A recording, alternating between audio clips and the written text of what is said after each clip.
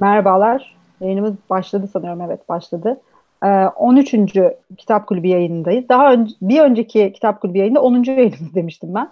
Ama bu sefer 13 oldu. Şimdi sanırım ben ilk yayınları saymıyorum. Çünkü orada bir davet yayınımız vardı. Ee, bir tane de kaydedilmeyen bir yayın yapmıştık maalesef bir teknik arızadan dolayı. O yüzden böyle bir e, sayı şeyi karışıklığı var ama 13 gibi görünüyor. 13. yayınındayız yani bu önemli bir şey benim için. Güzel gidiyoruz. E, bu hafta e, Latife Tekin'in Sevgili Arsız Ölüm kitabını bitirdik. E, aslında bütün kitap kulübü üyeleri için duyduğum kadarıyla çok da böyle kolay bir okuma olmadı.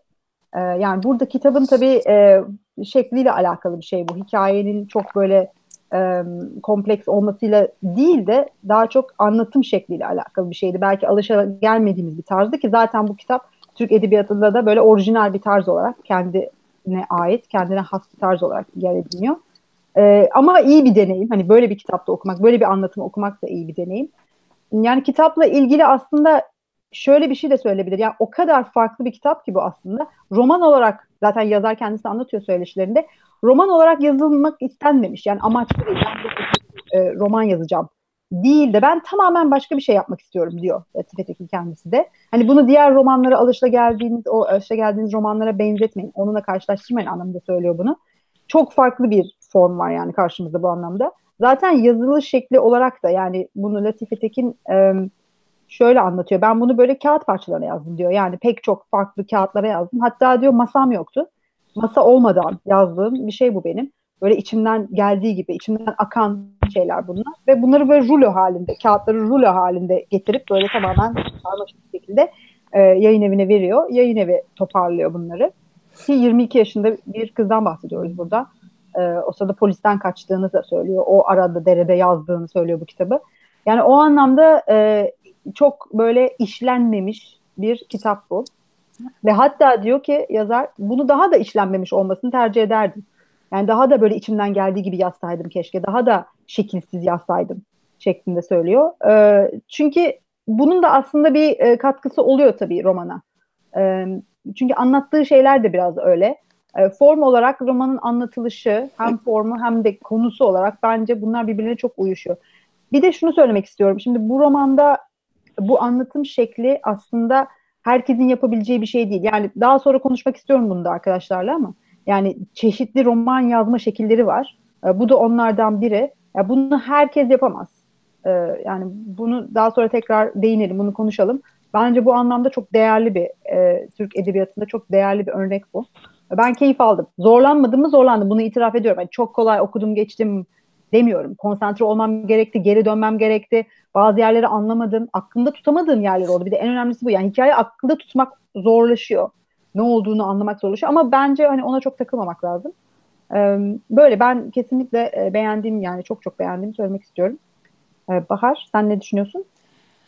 Ee, şimdi nereden başlayayım? Geçen hafta söylediğimi yeniden söyleyerek başlamak istiyorum. Demiştim ki ben ergenken bir tiyatro oyununa gitmiştim. Orada bir karakter vardı. Bütün oyun boyunca kim öldü diyordu. Çünkü böyle bütün olandan bir taneden bir haberde ve bu bugüne kadar bizim aile içerisinde bir espri olarak kaldı. Dediğim gibi bu kitabın ilk bölümünü okurken ben de kim öldü, kim öldü, kim ölmüş diye izledim. E, iyi, bir, iyi bir şey aslında bu. yani, iyi bir metafor değil mi? Metafor. Ee, Şimdi e, ilk bölümü e, yaklaşık 240-250 sayfalık. İşte ilk yarısını okuduğumuz zaman ben hakikaten anlamaya çalıştım. Çok farklı geldi. Çünkü sonuç olarak biz bu saate kadar, daha doğrusu bizim e, amacımız Türk Edebiyatı'ndaki en önemli en e, önemli 40 eserler eserlerin bir kısmını okumaktı. E, şu ana kadar okuduklarımızın hepsi e, cümle yapıları açısından işte tamlamalarıyla, cümlelerin uzun olmasıyla, paragraflarla, tasvirlerle e, biraz daha e, ne diyeyim oturaklı olan, biraz daha konsantre olmasını gerektiren, yani hikayeden bahsetmiyorum bile ama en azından dili, yazılış tarzı çok farklıydı. Bu bambaşka bir şey. Yani bu bizim şu an, benim hatta ömrüm boyunca okuduğum hiçbir kitaba benzemiyor. Hatta bana normal şartlar altında birisi bu kitabı verse ve dese ki bu Türk e, edebiyatının en önemli 40 eserlerinden bir tanesi, hadi oradan derdim açıkçası. Yani bunun üzerine düşünmem gerek, e, yoğunlaşmam ve düşünmem gereken tarzda bir kitaptı. İkinci, ilk bölümünü okuduğum zaman hakikaten o açıdan büyük bir e, şaşkınlık içerisin, içerisindeydim. Fakat ikinci bölüme geçtiğim zaman kim ölmüşten biraz daha durdurun dünyayı inecek var diye okumaya başladım. Çünkü habire olaylar gelişiyor. Yani bir paragraf içerisinde bir anda cümleler çok kısa şöyle oldu, böyle bitti. Dili geçmiş zamanlar her şeyi anlatıyor. E, senin söylediğin gibi hikayeyi takip etmek, kime ne olduğunu, acaba hangisinden şu anda bahsediyor? Beş tane bir çocuk vardı neydi?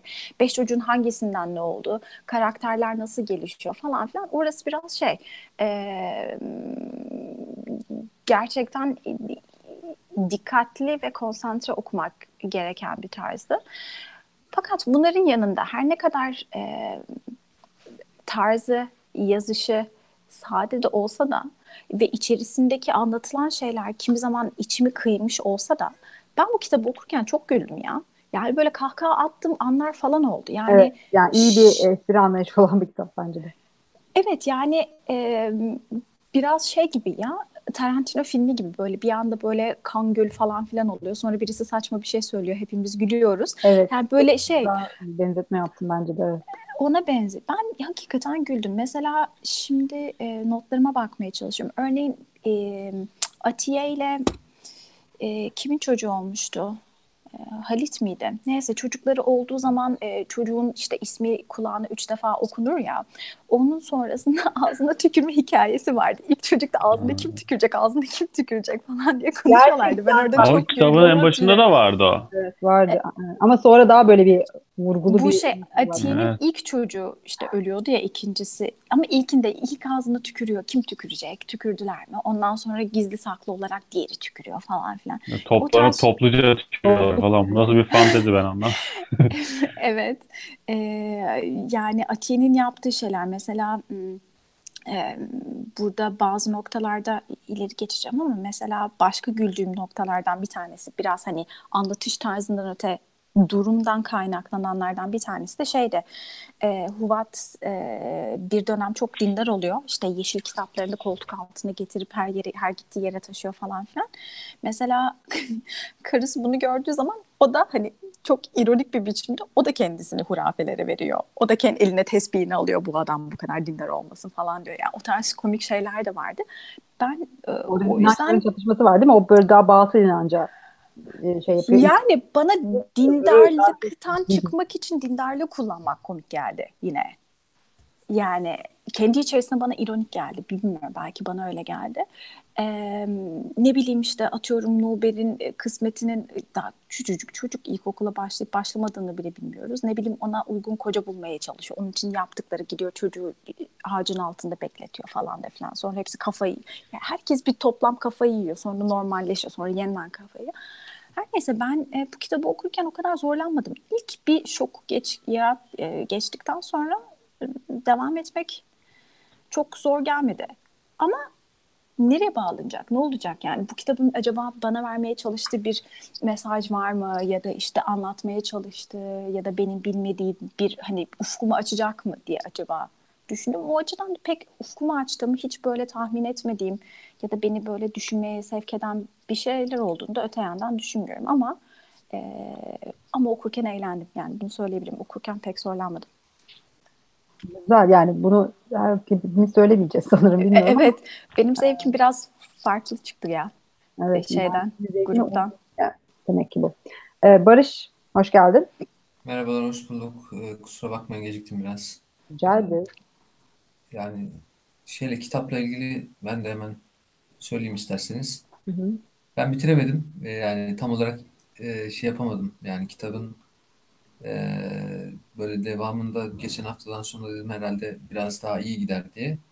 Ama aynı şekilde devam edince bir de işler yoğun, işlerin yoğunluğundan çok böyle şey yapamadım. Hı hı. Ee, devam edemedim. Açıkçası bitirebilirdim. Yani kitabı da çok e, istekli olamadım. Yani bu herhalde kitabın yazım diline Bahar dediği Kitap gibi motive alışık. etmedi yani aslında. Yani yazım dili çok değişik olduğu için yani benim alışkın olmadığım için Ondan olsa gerek ama e, yani çok kötü bir şey söyleyemem. Çünkü 22 yaşında yazmış. E, yazdıkları da çok Yani yaşadığı ve gördüğü şeyler yani yaşantılar olduğu belli. Muhabbetlerinden de işte o yöre ağızlarını yansıtışından da çok iyi görebiliyorsun bunu. Ama e, biraz daha böyle içine katarak daha böyle e, iyi bir şey verebilir. Yani ama 22 yaşında. Yani çok böyle şey yapamazsınız. Yani o dönem ne yazdığını, ne yaptığını insanın böyle çok düşünemezsiniz. 22 yaşında kitap yazmak çok şey bir şey şu an mesela düşününce. Yani epey bir birikim olması gerekiyor. Ee, benim de eleştirim zaten geçen hafta da aynıydı. Bu e, belirli bir cümle türünü sürekli tekrar etmesi çok uzaklaştırıyor şeyden, kitaptan. Yani yaptı, etti, bitti. Yani o şekilde biten cümlelerle sürekli devam etmesi bu çok böyle uzaklaştırıyor. Ama e, e şeylerle ilgili, diyaloglarla ilgili bir azlık var. Biraz daha hızlı olmuştu iler, ilerleyen şeylerde. 100. sayfadan sonra biraz daha diyalog görebiliyordum. 140'tayım ben şu an işte. O, orada kaldım. Ama e, bu e, aileleriyle ilgili mesela oradaki o gözlemleri biraz hoş. Yani o e, kardeşlerin arasındaki babanın mesela Huat'ın yani onlar çok böyle güzel. Onları böyle iyi söylemiş. Bir kavgaları var. Yani oraları çok komikti aslında. Böyle kafamda canlandırdım. Huat, Mahmut ve Seyit'in bir kavgası var. Böyle e, babasının şapkasını alıyor. Evet. İşte, oralar çok komikti. E, böyle Mahmut galiba biraz şey e, asi bir karakter aile içinde. Biraz daha böyle şey yansıtıyor.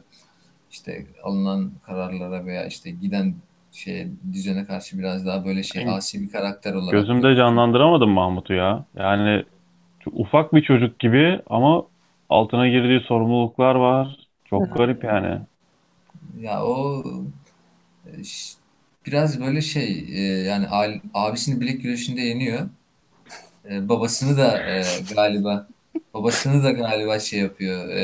yani düşünüyorsun en küçük çocuk bu. ama yaptığı şeyler öyle kafanda konduramıyor. Mesela ben bunu kardeşim olarak böyle bir ilk başta düşündüm. Böyle bir şey tenezzül etmezdi kardeşim mesela. Öyle şeyler yapmak kesinlikle olmazdı ama çok e, ilginç yazmış oraları. İyi yaşayın. İyi yaşayın. Çok, Teşekkürler.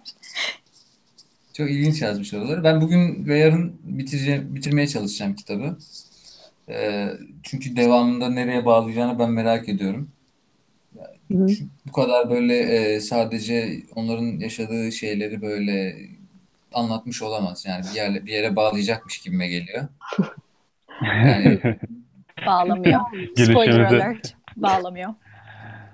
Yani en azından da herhalde Aynen.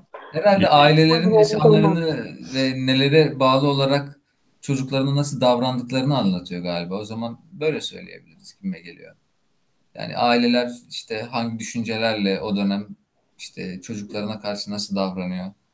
Ya bunun bunun iyi mi kötü mü olduğunu veya koruyucu mu olduğunu, aradaki farkın nasıl bir şey olduğunu çok iyi söyleyemiyor belki de. Bunu söyleyebiliriz eğer bir yere bağlamıyorsa. Çok kötü oldu bu yani bir yere bağlamaması. Ee, ama neyse yani öyle yazmış. Yazar sonuçta.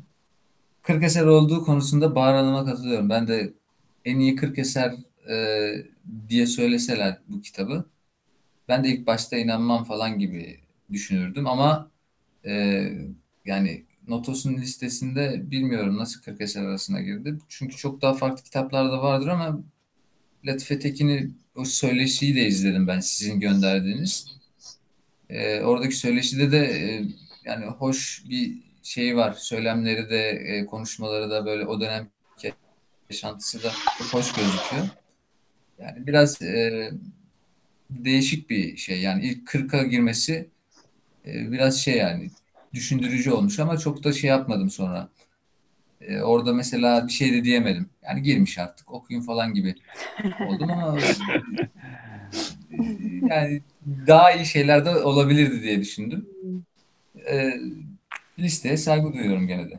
Evet bu liste yani zaten herkes... biraz listenin etkisi oluyor okumalarımızda değil mi? Bu da ilginç bir şey mesela.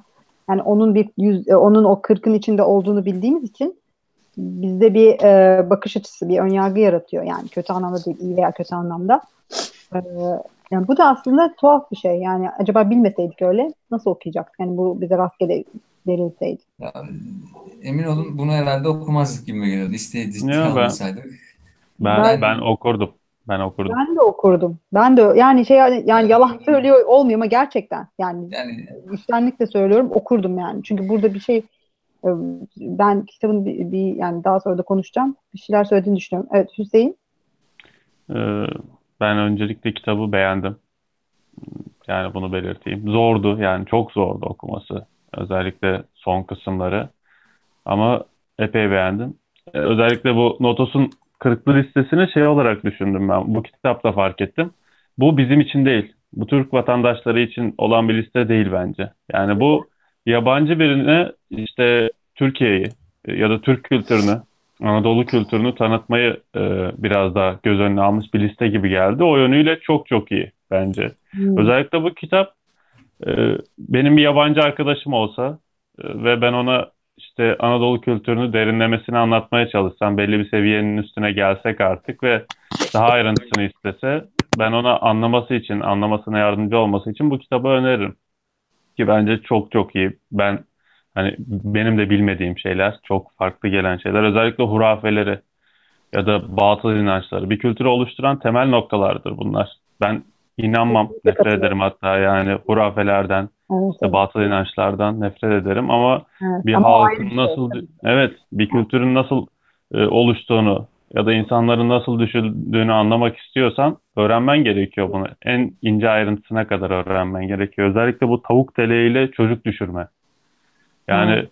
ben tavuk bunu bir yerlerde tavuk, tavuk teleği galiba tavuk tüyü ve bu tavuk tüyünü batırıyorlar mı artık yani işte malum bölgelere anatomik şey yapmayacağım. E, ayrıntı vermeyeceğim yani tahmin edebiliyorum aşağı yukarı nasıl olduğunu ama ha, şey, yani tanık olmak evet yani bunu evet ve farklı yöntemlerini de söylüyor orada yani çocuk düşürme için tahminimce Anadolu'nun yine dağ köylerinde kullanılan yöntemlerdir bunlar. Çeşitli otlar, işte çaylar hani hala yani, da kullanılabilir. Yani. Özellikle bu kürtaj tartışması açılınca falan hani işin gideceği yol o olur diye düşünüyorum ben eninde sonunda. Yani bu tür şeylere geri dönülür. Yani kadınların binlerce yıldır yaptığı şeyler bunlar tabii ki. Tabii yani. Unutulan şeyler yine geri çıkar. Yani böyle e, sanki modern bir şeymiş, bir konseptmiş gibi şey yapılıyor. Tabii bir şey olduğu için artık. Hı hı. Eskiden tabii böyle değil yani. O yüzden binlerce yıllık bir bir mesele bu yani. Evet, şey böyle bu rulo kısmını ben bilmiyordum şeye e, editöre rulo şeklinde verdiğini. E, ben Dirmit'le yani bunu duymadan önce de yazarın kendini Dirmit'in yerine koyduğunu düşündüm. Belli değil mi? Boyunca. Evet, bayağı belli. Onu çok hissettiriyor. O kadar sinir olduğum bölümler oldu ki Atiye'ye. Yani çıldıracak gibi oldum bazı yerlerde böyle. İnsanın sanki boğazını sıkıyor değil mi bazı yerlerde böyle. Atiye boğazımı sıkıyor gibi oldum. Evet. Ya kıza o kadar üzülüyorsun ki yani Dirmit'e ya ve bunun gerçek olabileceğini biliyorsun. biliyorsun. Bu daha da sinir ediyor insanı. Yani bu düşüncenin çok uzak olmadığını, evet. bunun gerçekleşebileceğini bilmek. Doğru, evet. Evet. Ve şeyi de hissettim ben. Ee, Yaşar Kemal'in diline benzer noktalar hmm.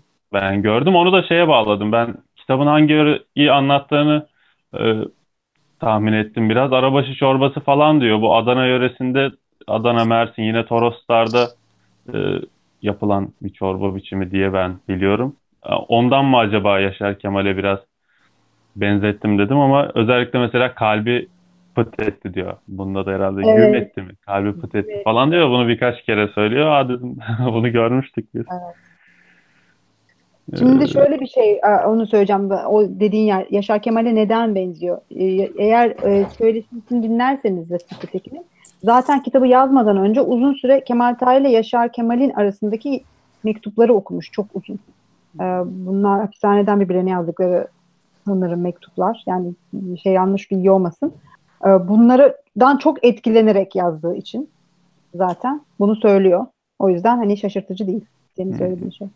Yazar aşırı yaratıcı ve aşırı iyi gözlemci bence. Bu kitap bize bu kadar yoğun işte ya da yorucu gelmesinin sebebi içinde belki 8-10 kitabı çıkaracak malzeme bulunması.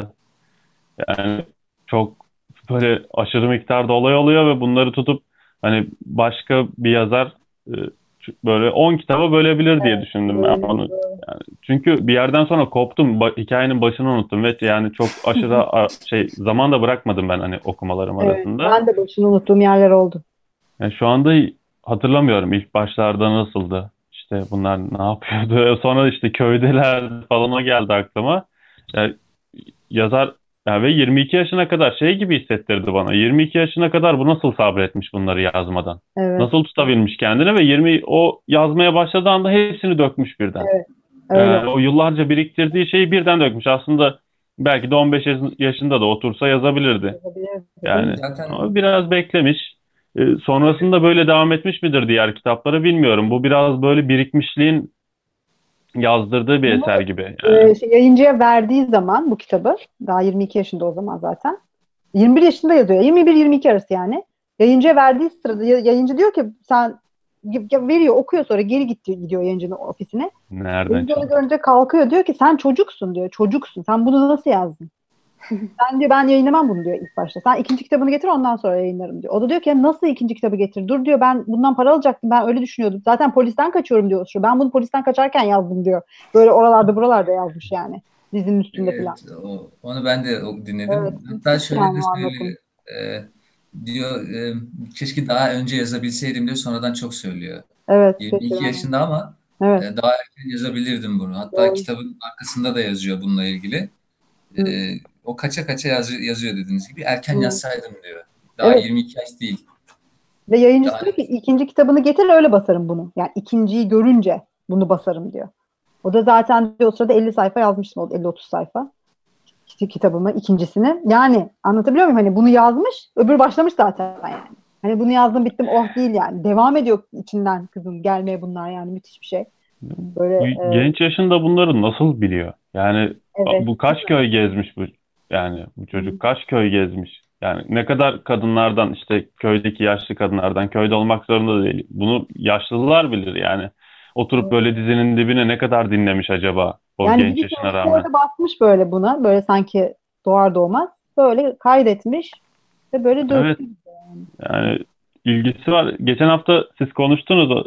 Ben şey yapmıştım yine gönderdiğim notta bu okuyan ve okumayan çocukların birbirine işte dövüşmesi falan. O nokta benim çok ilgimi çekti. Onun öyle şey e, kısa bir şey olduğunu düşünmüyorum. O ciddi bir şeye e, parmak basıyor ya da işaret ediyor diye Neydi o? düşündüm ben bunu. Yani işte şey diyor Evet. bu öğretmen alacağı üvekteki çocukların işte okuyanların okumayanlardan daha Evet. üstün olduğunu, onların o- diğerlerini dövebileceğini falan okulun Evet. içinde e, belirtiyor. Dışarı çıkınca da işte diğerleri dövüyor onları. Hani okumamışlar, okumuşları dövüyor. Bu Bana sanki yani günümüzü şey yapıyor. Bana sanki Yok onu komiklik yapmak için söylemiş gibi geliyordu. Bana Çok günü- günümüzü- hepiniz çok ciddiye aldınız. Ben onu okuduğumda döven, bilenler bilmeyenleri dövsün dediğinde komik Ya genelde aslında. evet şey yönünden hani belki çocukları heveslendirmek için falan yapmıştı öğretmen onu ama burada ben yazarın hani bunu toplumun geneline düşünerek söylediğini düşünüyorum. Yani işte biz nasıl yani kendim özelimde de söyleyebilirim bunu. Sonuçta e, bir grup okuyor veya işte bir şekilde e, işte entelektüel birikimle ön plana çıkmaya çalışırken diğerleri bilek gücüyle veya kas gücüyle çıkabiliyor. Ya ufakken de oluyor bu ya da hani bunu farklı örneklerle çoğaltabiliriz.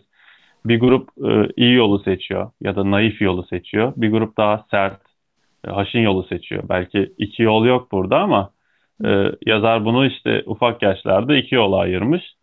E, bana çok tanıdık geldi bu. Yani Hmm. öyle ve bunun tutup hani e, geneli çok çok rahat bir şekilde şey yapabiliriz. Ya okulun dışına çıktığında diğerleri onları dövebiliyor. Ve hani şeyde de vardı ya diğer entelektüeller niye kendini böyle yukarıda görüyor? İşte bundan dolayı kendini daha yukarıda görüyor. Yani e, hani bizim önceki okuduğumuz kitaplarda Said Faik'e de şey yaptık bunu. Neden kendini yukarıda görüyor? İşte bundan dolayı adamın e, şey yapabileceği, dayanabileceği bir şey yok aslında. Yani kendini kitaplar başına hapseden bir insanın e, bunun haricinde dayanabileceği bir şey yok. Yani güçlendirebileceği, kendine e, güven katabileceği ama e, diğer noktadaki adam işte bileğine veya işte belindeki silahına, cebindeki parasına güvenebilir. Hoş ben, e, bunların böyle keskin bıçak gibi ayrılmasına gerek yok. Hani bunların karma versiyonları illaki vardır. Ben burada çok derin bir noktaya işte parmak bastığını düşündüm. Böyle evet şeyden bakarsak komik ve hani kısaca geçmiş de olabilir ama bunun gibi çok fazla şey de vardı. Yani bunlarla toplum pro toplumsal problemlere işaret edebilecek ya da işte sosyolojik olarak ele alınabilecek şeyler de var yani bir cümle orada işte Atiye'nin Dirmit'e söylediği bir cümle oluyor bakıyorsun abi yapma yani o kadar derin düşünürsen bunun üstüne düşünürüm yani evet. çok düşünülür. Yani böyle çok noktası var ya ben bunu 22 yaşında birinin Nasıl? yazması cidden hayret ettirdi. Evet bir şey yönünden zorlandık işte ondan dolayı 4 puan verdim ben Goodreads'te 5 üzerinden. Gerçekten. Evet yani e, çok zorladı. Yani, evet 3 kitaba bölseydi o zaman olurdu. Yani biraz çok yoğunlaştırmış yani. Evet. Aşırı demli bir çay sever misiniz? Yani bunu çay özelinde veriyorum ama. Bazen ihtiyacınız olabilir. evet bazen. Ee, yani e, şöyle bir şey söyleyebiliriz kitapla ilgili aslında. Şimdi üç şeyden bahsediyor diyebilirim ben. Yani kitapta en önemli bence öne çıkan şeylerden bir tanesi. Benim için en azından birinci şey edebiyat hakkında söylediği şey kitabın. Bence çok önemli bir şey söylüyor edebiyat hakkında. Bizi düşündürüyor yani edebiyat hakkında. Nedir? Nasıl yazılır? Nasıl yapılır? Nasıl okunur? Bu konuda çok yeni bir şey yapıyor bir kere bu kitap. Hani şöyle bir şey vardır sanatta da. Outsider art denir. Yani dışa, dış dış yani toplum dışı sanat diye bir şey vardır. Yani toplumun belli şeyleri var işte bildiğimiz şeyler. E, konva, konvansiyonel e, dediğimiz edebiyat tarzı var. Bunun dışında bir şeyler yapanlar. Genelde bunlar mesela kimler olur? Deliler olabilir, hastalar, çocuklar.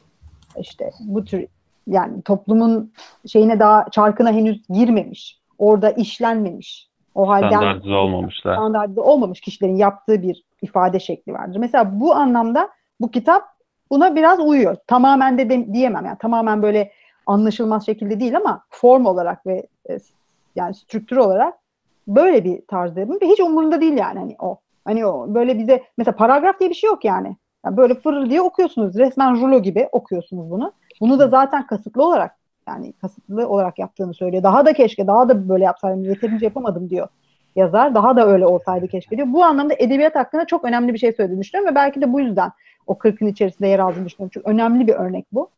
Ee, bize nedir, ne değildir bunları düşündürüyor. İkinci olarak toplum, aile, birey şey yine var burada da. Diğer kitaplarda da okuduğumuz gibi. Ee, yine bireyle e, aile ve toplum arasındaki bireyin istekleriyle ailenin e, ihtiyaçları, istekleri arasında bir çelişki. Bu her zaman diğer kitaplarda da görüyoruz. Bu anlamda aslında alışılagelmiş bir konu, konu olarak. E, bunu anlatış şekli çok farklı tabii ki. E, ve kesinlikle bireyle aile arasındaki o şeyi hissettiriyor. Yani o bireyin içine giriyorsunuz kafasına. Ve nasıl bir baskı altında olduğunu anlıyorsunuz. Ama bu anlamda çok şey yapmıyor. Hani bireyin istekleri olmuyor değil sadece. Ailenin de bazı ihtiyaçları var. Bunu da görüyorsunuz. Aileye bakılması gerekiyor. Ailenin bir arada tutulması için bu batıl şeylere, kurallara, bu saçma sapan cezalara belki bunlar olmasa bunlar ne olacak diye de düşünüyor insan. Başka ellerinde şey yok. Hani bunları düşündürüyor toplumu da düşündürüyor aynı zamanda. Sonuçta e, bir yerden bir yere göç ediyorlar ve orada yeni bir hayata geçiyorlar. Orada yaşadıkları bazı e, e, bocalamalar var. E, bir anlamda bir, bir varoşlaşma yaşıyorlar. Ondan sonra bazı bazı şeylere katılıyorlar, katılmamaları gereken işlere katılıyorlar falan böyle bir kay, kayıp oluyorlar bazen o e, şehir içerisinde. Sonuçta bunlar köyden gelen insanlar. Böyle şeylerle uğraşmıyorlardı, böyle şeyler yapmıyorlardı. Böyle bir kent yoksulu şeyine e, bürünüyorlar şekline.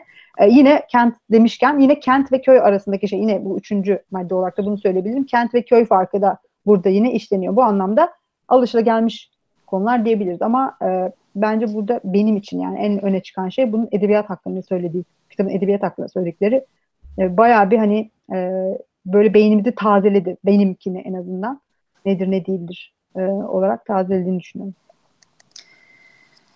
Ee, söyledi edebiyata dair söylediklerine baştan sona kadar katılıyorum. Gerçekten çok farklı bir e, edebiyat tarzı ve bakış açısı.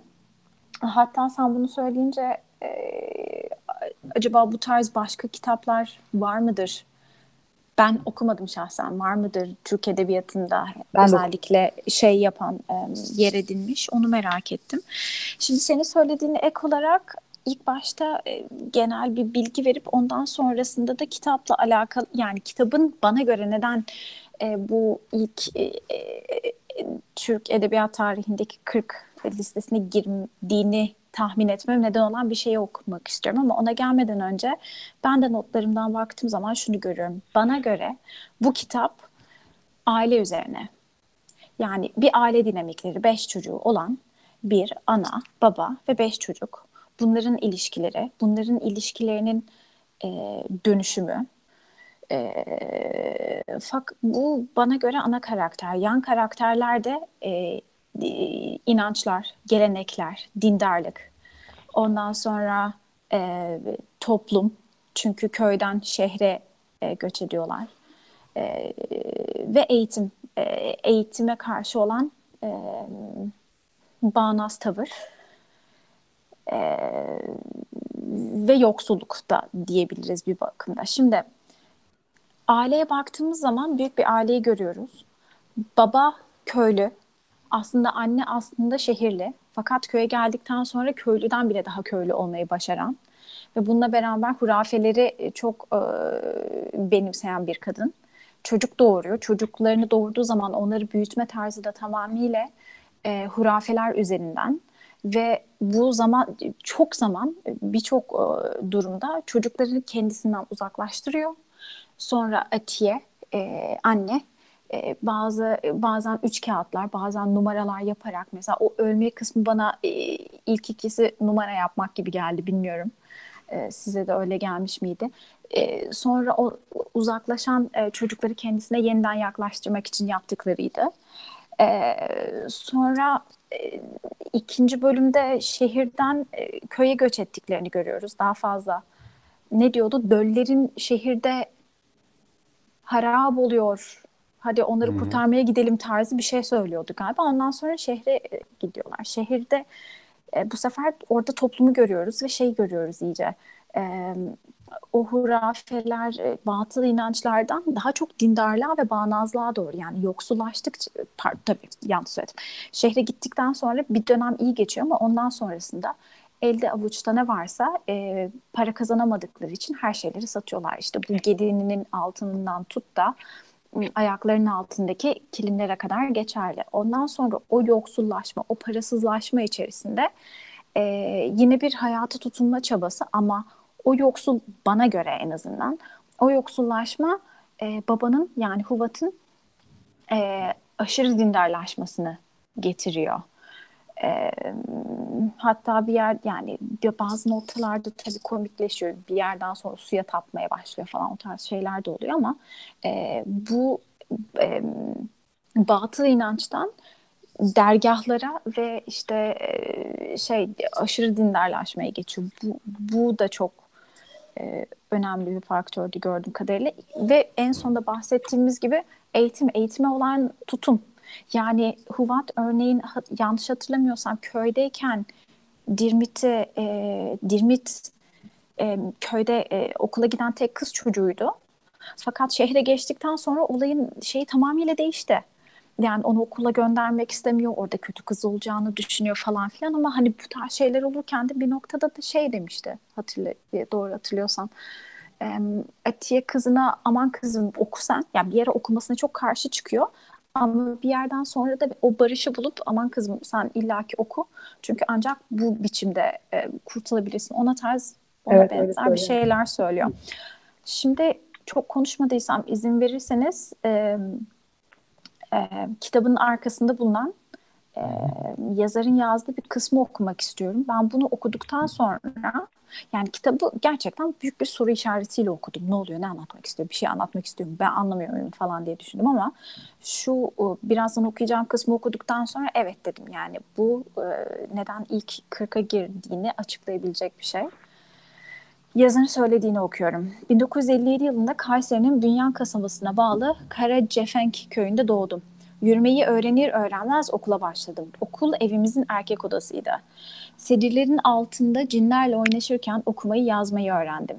Karacefenk'te sedirlerin altında cinler ve periler yaşardı. Çocukluğum onların arasında geçti. Yine kısa cümleler. Gizlice onların derneğine girdim. Evlerini gezdim, düğünlerine gittim, dillerini, gündüz ve gece oyunlarını öğrendim. Babam İstanbul'da çalışırdı. Annemin yüreği yaralı, garip bir kadın olduğunu kim söyledi bana şimdi unuttum. Okuyup yazar, dikiş diker, iğne yapar, Kürtçe, Kürtçe ve Arapça bilirdi. Köye gelen çingene, çingenelere adını duymadığım yerleri insanları sorardı. Onun geçmişini aranıp durması çocukluğuma bulaşan ilk acıydı.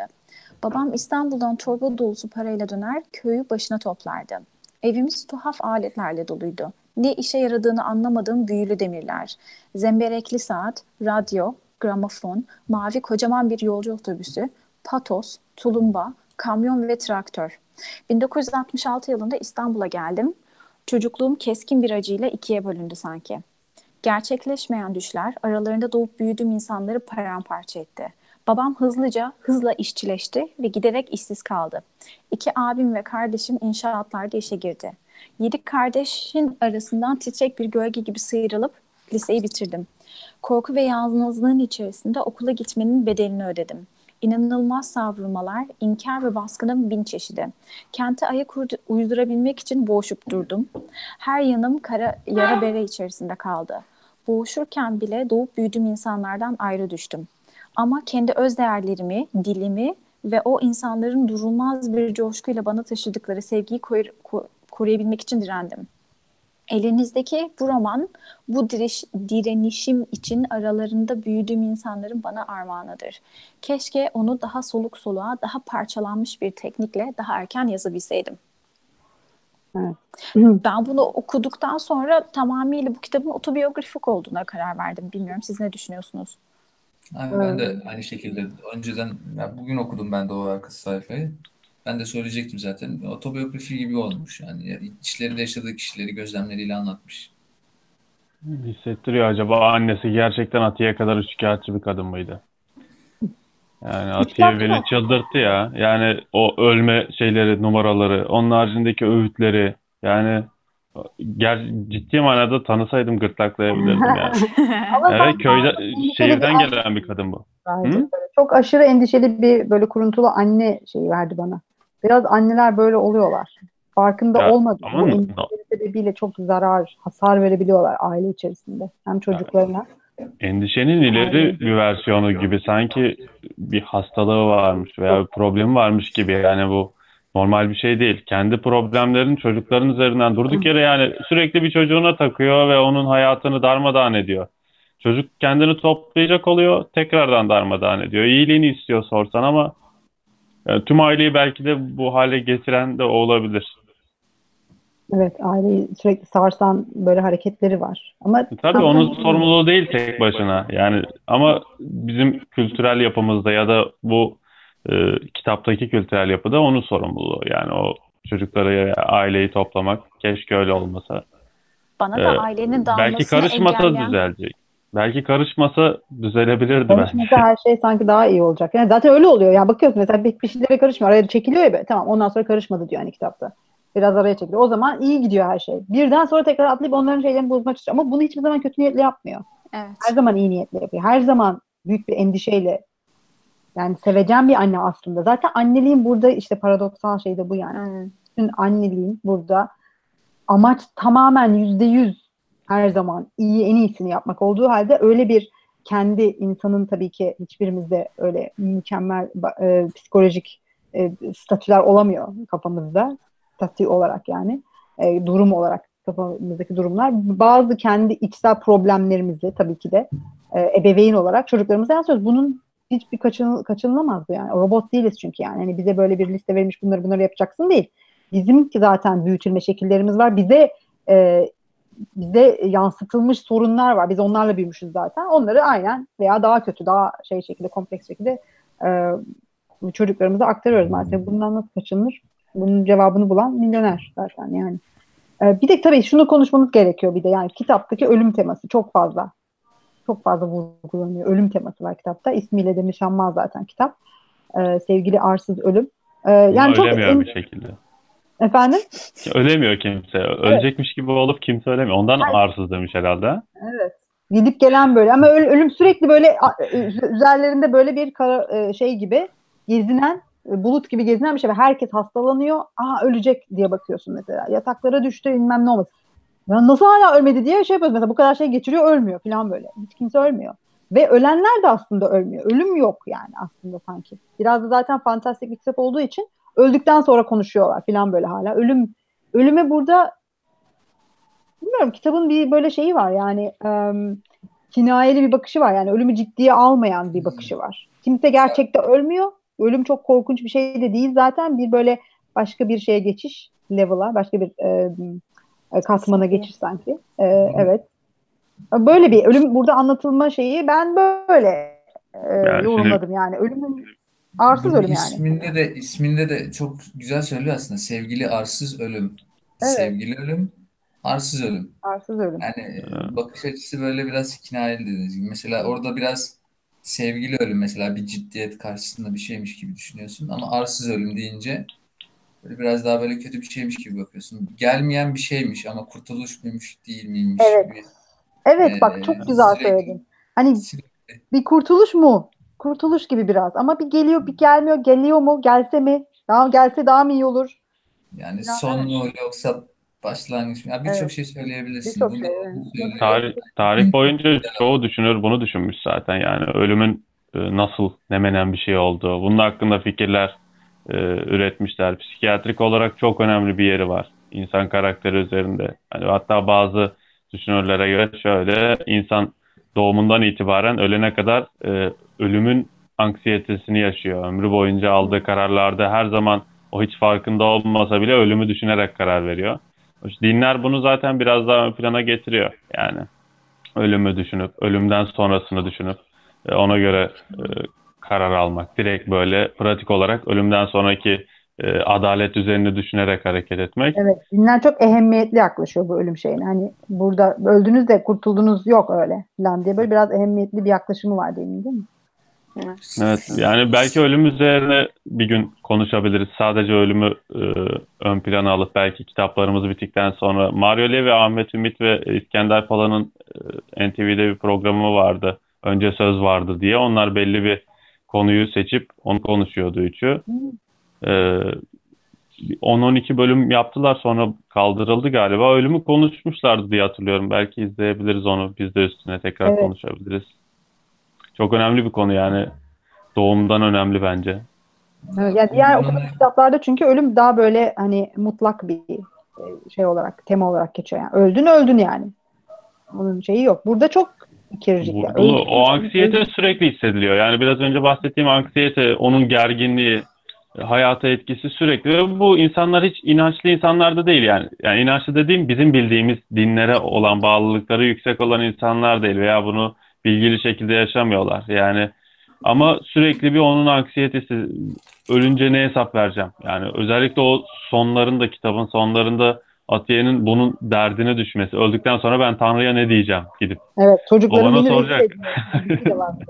Öldükten sonra başka derdi yok. bunlar yüzünden cehenneme gideceğim. Zebaniler kovalayacak. Çok sinir bozucuydu ya. Ya bir de yazarların çoğu böyle yani çoğu demeyeyim de yani bir kısmı böyle intihar ederek yani kendi yaşamına son vererek yani daha doğrusu kendi katil olarak böyle şey yapmış bir e, geçmişleri de var. Mesela o da onları böyle çok etkiliyor. Ölümle ilgili mesela düşüncelerinin olduğunu kesinlikle biliyorsun o şeylerinden, yaşantılarından. Ben mesela bu hafta şeyi de okudum. Bu Sisyphos söylenini de okudum e, bu şeyin kamunun. Orada da mesela çağımızın hmm. tek temel hastalığı intihardır diye söylüyor. Mesela intihar etmenin sebebi mantığıyla ilgili işte ölümün yaşamın nasıl bir mantığı varsa ölüme giden bir yolunda bir mantığı vardırla ilgili bir şeyler söylüyor. E, çok böyle söylen, söylenen böyle çok fazla şey var. Kitaplarda da konu olarak var. Bu mesela e, sevgili arsız ölüm deyince ben de biraz işte onu paralel okuyunca düşündüm yani. O da mesela ölümün geri, yani kitapta da hissediyorsun. Geliyor mu, gelmiyor mu? Kurtulacaklar mı yoksa işler daha mı sarpa saracak? Yani tam olarak ne olduğunu söylemek böyle çok zor oluyor hepsi için. Ama üstüne konuşulabilecek bir şey. Çok fazla konuşulabilecek bir şey. Ben Latife Tekin'in okuduğum kısmıyla alakalı biraz daha konuşmak istiyorum. Yetmedi. Daha da konuşacağım. Ee, Şimdi ben bu parçayı okuduktan sonra şimdi ölüm kısmından biraz uzaklaşacağım, geri geleceğim sonrasında. Kusura bakmayın. Şimdi ben bu e, yazıyı okuduktan sonra hakikaten bu kitabın e, bayağı otobiyografik olduğuna kanaat getirdim. Çünkü kitabı okuduğumuz zaman e, kitapta e, oldu bitti diye anlatıyor. Yani e, birinci tekil şahıs olarak şunları gördüm bunları gördüm diye anlatmıyor böyle bir ailenin başından geçenleri köyden şehre kadar ve e, ailenin bana göre başında olan annesi çünkü herkes bizi parmağına döndüren kişi o. Onun ölümüne kadar olayı anlatıyor. Oldu bitti. Dili geçmiş zamanla anlatıyor. Hiçbir zaman ben şeyini görmüyorsunuz. Yani yazar kendi içi, kendisini içerisinde hiçbir zaman katmıyor. Şimdi bunu okuduktan sonra mesela şey diyor. E, babasının e, şehirden çok parayla geldiğini, envai çeşit acayip şeyler getirdiğini işte zemberekli saat, radyo, gramofon. Bunlar zaten e, Huvat'ın aslında yaptığı şeyler. E, şehre taşındıktan sonra hayatının neredeyse acıyla ikiye bölündüğünü anlatıyor. Bu da e, babanın dindarlaşmasıyla ve şehirde iş bulamadıkları için fakirleşmelerinden kaynaklanan aile üzerindeki baskılardan kaynaklandığını düşünüyorum. Ve kitabı okuduğum zaman hep e, benim e, yani bütün karakterlerin yaptıklarını, ettiklerini tabii ki okuyoruz. Çok fazla olay var ama hep e, bana göre öne çıkan Dirmit oldu. Yani sanki e, annesinin Dirmit'le ilişkisi en fazla orada işlenen bir şeymiş gibi geldi diğerlerine nazaran. Yani eğer yazar otobiyografik olarak yazdıysa bunu ya da otobiyografik tabii ki etmenlerin olduğu burada çok aşikar kendisini anlattığı kadarıyla e, bence kendisi Dirmit olurdu diye düşünüyorum. Çünkü burada da okula giden yani kitabın içerisinde de okula giden kendisini bir türlü şey yapan tırnak içerisinde kurtaran e, o bu kendisi de yazısında da e, korku ve yalnızlığın içerisinde okula gitmenin bedelini ödedim diye zaten söylüyor. Bu da çünkü annesinin okula gitme, okula karşı e, aldığı tavırdan kaynaklanıyor. E, şimdi buna böyle baktığım takdirde o zaman gerçekten e, ya biraz Yaşar Kemal'e tabii ki baktığımız zaman çünkü ilk bölümde köylülerden falan bahsediyor. Yani bu ailenin köydeki köylülerle olan ilişkisinden bahsediyor. Biraz kendi içerisinde bir e, paradoksu var. Yani kendi içerisinde tutuşmayan çok fazla şeyler, e, karşıt şeyler de yapılıyor. Ama şehre geldiği zaman pek fazla aslında olan biteni görmüyoruz ya da işte oradaki e, belki de entegre olamamalarından kaynaklanıyor olabilir. Ama komşularından, etrafta olan bitenlerden mesela ilk bölümde birisi saçma bir şey yapıyor ona isim takıyorlardı. Başka bir şey yapıyordu başka bir lakap takıyorlardı. Bunu görüyoruz. Şimdi ben de kitabın isminin e, bölüme gelmek gerekirse kitabın isminin neden sevgili arsız ölüm olduğunu e, anlamaya çalıştım. Bana bu şey gibi geldi. Bana bu romanı yani bu birisine e, mektup yazarken sevgili Ahmet Mehmet diye başlarız ya. Sevgili arsız ölüm diye bence ölüme yazılan bir kitap bu. Çünkü evet bahsettiğimiz gibi kitabın içerisinde birçok yerde e, ölüm olgusundan bahsediyoruz. Bana dediğim gibi Atiye ilk ikisinde numara yapıyormuş gibi geldi. İşte ölüme yatması, işte yok benim kardeşim var falan filan diye bir olaylardan bahsetmesi aslında bunun gerçeği yansıtmaması kocasının söylediği kadarıyla oğlundan bir tanesi vuruluyor. Beş kere yaptı herhalde değil mi Atiye o ölüme ölüme yatmayı evet. beş kere falan iki ölüme ya da yattı. üç kere yaptı gibi benim aklımda kalmış Yo, yo, ciddi bayağı. olarak. To- toplamda yani. Toplamda evet. Ve yani bayağı bir ritüellerle beraber yapıyor bunu. Çok fazla ritüel. Evet, mutlaka bir cinlerle konuşup bir e, gayipten bir şeyleri e, anlatıyor ama kocası da bunun gerçek olmadığını aslında e, bir yerde bir dakika notlarımda var mıydı ya?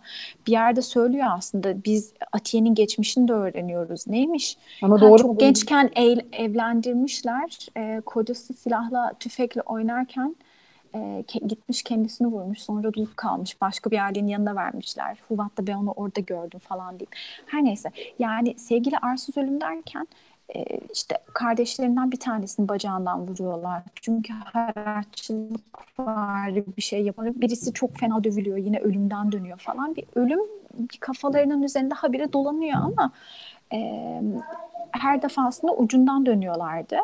Bana göre sevgili arsız ölüm derken yani bence her ne kadar e, Hüseyin'in dediği gibi yani Atiye e, tam böyle ağzının ortasına iki tane çakmak istediğim tarzı bir kadın e, olsa da aslında bana öyleymiş gibi gelmedi. Ya bana hakikaten bu kadın ailesini çok seven, çok seven ama sevgisini göstermeyi bilmeyen ve ama bir şeyleri habire bozup onu yeniden toplamaya çalışan bence aileyi bir arada tutan faktör.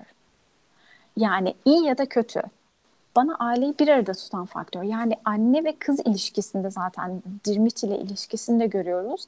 E, en sonun spoiler vereyim ya bir ara söyledim. Neyse en sonunu düşündüğümüz takdirde de o faktör ortadan kalkıyor. Annesi hayatından çıkıyor gidiyor. Hakikaten bu defa ölüm yaşanıyor. E, bence sevgili arsız ölüm derken burada e, yazar ölüme sesleniyor. Ölüme bir mektup yazarmış ölüme gibi. Sevgili ölüm. Evet. Ben öyle yazdım düşünüyorum. Hmm. Şey demiyor mu? Yani en başta şeyin e, dirmitin üstüne düşüyorlar. E, anne vefat ettikten sonra. Artık ben spoiler falan şey yapmayacağım çünkü bitirdiğimizi yani, kabul etmek. Kitaplar. Ben de yani bu spoiler şeyini bilmiyorum. Buna dikkat hmm. et, çok dikkat etmeli miyiz acaba? Bence çok Bence gerek yok. etmememiz yani. lazım. Çünkü bunlar artık klasik kitaplar. Yani bu yeni çıkmış böyle bestseller hani sonuna sadece hmm. böyle sürpriz sona kendini endekslemiş şey kitaplar değil ki bunlar yani. Bilmiyorum. Ben de buna bakmayalım yani. Ee, yani sonu biraz karmaşık geldi bana ama anladığım kadarıyla e, Dirmit'in en son sağlıklı olduğuna karar veriyorlar. Ailecek. Yani ve Atiye'nin yokluğunda çocuk bildiğiniz sağlığına kavuşuyor. Yani ben öyle görüyorum. Atiye'nin yokluğu tüm aile için sağlıklı bir şey haline geldi galiba en sonunda. Yani işte mesela şeyi e, demiştim. Bazı yerlerde sosyal e, problemlere ilgi çekiyor. Mesela şeyin e, Dirmit'in bir sözü vardı. Şiirleri yırtılan başka kızlar var mı? Varsa onları bulacağım diyordu. Evet. Yani mesela bu çok çok çok güçlü. İlginç. Evet mesela kardeşi iki yaş kendinden iki yaş küçük erkek kardeşi işte e, genel eve gidiyor. E, kadınla işte birlikte oluyor. E ben ondan büyüğüm ben niye bir erkekle birlikte olmuyorum evet. diye annesine soruyor. Dayak yiyor bir, bir posta hatta bir Sonra dalga geçiyorlar işte çok şey yaptıysa. Ya cinsellik vurgusu çok fazla var kitap boyunca. Çok çok, çok evet. Ve karışık yani anlamıyorsun. Bu geçen haftalarda e, bizim hocalardan biri anlatırken söyledi. İşte bir e, köylü işte şey diyor hocam tedavi aldıktan sonra ağaca tırmanabildim falan diyor. Ee, böyle bir hoca böyle deyince biz anlamadık yani ağaca tırmamak şey diyor işte performans testi olarak ağaca tırmanmış galiba falan. Yani cinsel birlikteliği adam ağaca tırmanmak olarak söylüyor. söylüyor. Herkesin yapması gereken bir test bence bu. yani e, şeyde kitap da bu şekilde hep böyle bir üstü örtülü şekilde mesela ayağına şey yaptı e, ayağını okşadı diyor. Ya burada cinsel, cinsel birliktelik yaşadığını anlamamız gerekiyor galiba. Böyle üstü örtülü Evet. E, ya şeylerde oluyor mu bizim okuduğum çok yer oldu. Ben ben ben mi test atım diye böyle çok okuduğum yerler oldu böyle. Burada dedik, ben hmm. hatırlatma yapayım Mahmut bir e, kuaförde çalışıyor. Not almışım. Hmm, evet. Manikürcü Sevcan üstünü açıyor falan evet, filan. Evet. Habire onu çocuğu falan var ama evine götürüyor bilmem ne. Sevcan'ın inlemelerinden korktuğu için kaçıyordu sonra. evet o çok sevindi. bu da pedofili. Yani şeye bakınca bu da pedofili. Biz şeyde diğer türlüsüne çok gıcık oluyoruz ama bu da pedofili yani. Ama Kaç o şeydeki Sait Faik'teki gibi göze batıcı. Ya Mahmut çok küçük yani. Mahmut 8-9 yaşında bir şey herhalde. Seyit bile çok büyükmüş gibi duruyor benim ama ya benim anladığım. Çocuk hani şey çocuklar olur ya böyle ufacık ama yani şeydir 40 yaşındaki adamdan daha tecrübeli falan böyle hani çoğunlukla işte sokakta mendil satan çocuklar falandır böyle tipler. Yani Mahmut çocuk küçük böyle müydü ki o kadar? Mahmut epey şey, küçük değil. bence. Seyit de ondan yani Seyit de küçük. Seyit mesela 30-40 yaşında bir adam gözünde canlandı. Sonuna bakıyorsun askere daha yeni gidiyor yani. Evet. Ve öncesinde defalarca adamın olayları olmuş. Yaşlar yani askere kaç yaşında gidiyor? 20 yaşında. Öyle yaşlar konusunda çok şey. E, aynı şekilde Dirmit'le ilgili de ben evet. daha yeni Nuber'i evlendiriyorlar evet. mesela.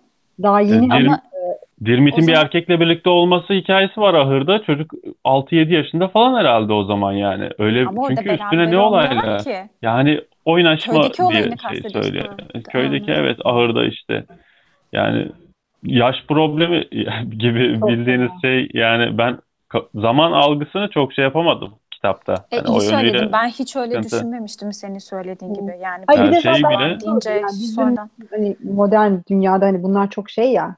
Kesinlikle olmaması gereken Hı-hı. şeyler bunlar. Ama belki hani daha Köy böyle kırsal kesimde bunlar daha yaygın şeyler. Daha böyle mesela evet. zaten annesinin de sürekli hani sen artık adet dönemine girdin diyor. Artık ya, tokat atıyor kıza. Hmm. Evet ama Ya. bunu ben duymuştum. Bu, Evet ben de duymuştum. Ve burada tekrar karşılaşınca yine sinir oldum. Burada çok, bunu çok duydum. Neyi Ee, duydunuz? Tokat, e, Ya işte adet görünce tokat mı Adet gördüğünü var. Böyle tokat atılması. Hiç duymuştum. ben. duymamıştım. Ya, Evet, direkt o da adet olduğunu söyler söylüyordu. söylemez. Ya art- artık kardeşlerinle birlikte yatamazsın. Yani ondan Evet mesela sonra, bu e, kardeşlerine birlikte yatan hatta aynı evde e, yalnız duramazsın demesi mesela. Bunlar Evet. böyle sanki hani bunları şey olarak söylemiyor. Aa bizim aileye geçerli böyle yapmayalım diye değil. Bunlar kural diyor yani. Sen adet oldun ya şimdi ya olacaklar bunlar. Sen artık kardeşlerine oturamazsın. Nasıl E yani? o zaman kardeş yaşıyor? Nuber'de çocuk gelin oluyor. Yani çünkü Büyük bir ihtimal. Zirmit'ten küçük. İki Evet. yaş mı? Yok. Küçük, küçüktü Nuber. yani. Nuber. Yok. Nober en büyük abla değil mi? Öyle Küçük, miydi? Hayır o küçük Halit'ten küçük mü? Karıştırıyorum, karıştırıyorum Ersin ama Nuber en son doğan değil miydi ya? En son doğan kız değil mi o işte? Ben de öyle biliyorum. En son çocuk oydu gibi aklımda kalmış benim. Bilmiyorum Ya da sondan bir önce. Bilmiyorum Yani ben. Yaşlar konusunda-. Ee, şey var. Yani bayağı küçük yaşlarda bizim alışık olmadığımız deneyimler yaşamaları. Ee, E tamam da bu bizim televizyonda benim izlediğimiz hani Cem Yılmaz'ın hani biz marjinallik olayına biraz dön- dönüş olmuyor mu o zaman? Yani biraz kendi içerisinde normalleştirilebilecek bir şey kırsal kesimde senin Şöyle, söylediğin gibi. şey anlamda marjinal. Yani biz marjinal niye diyoruz buna?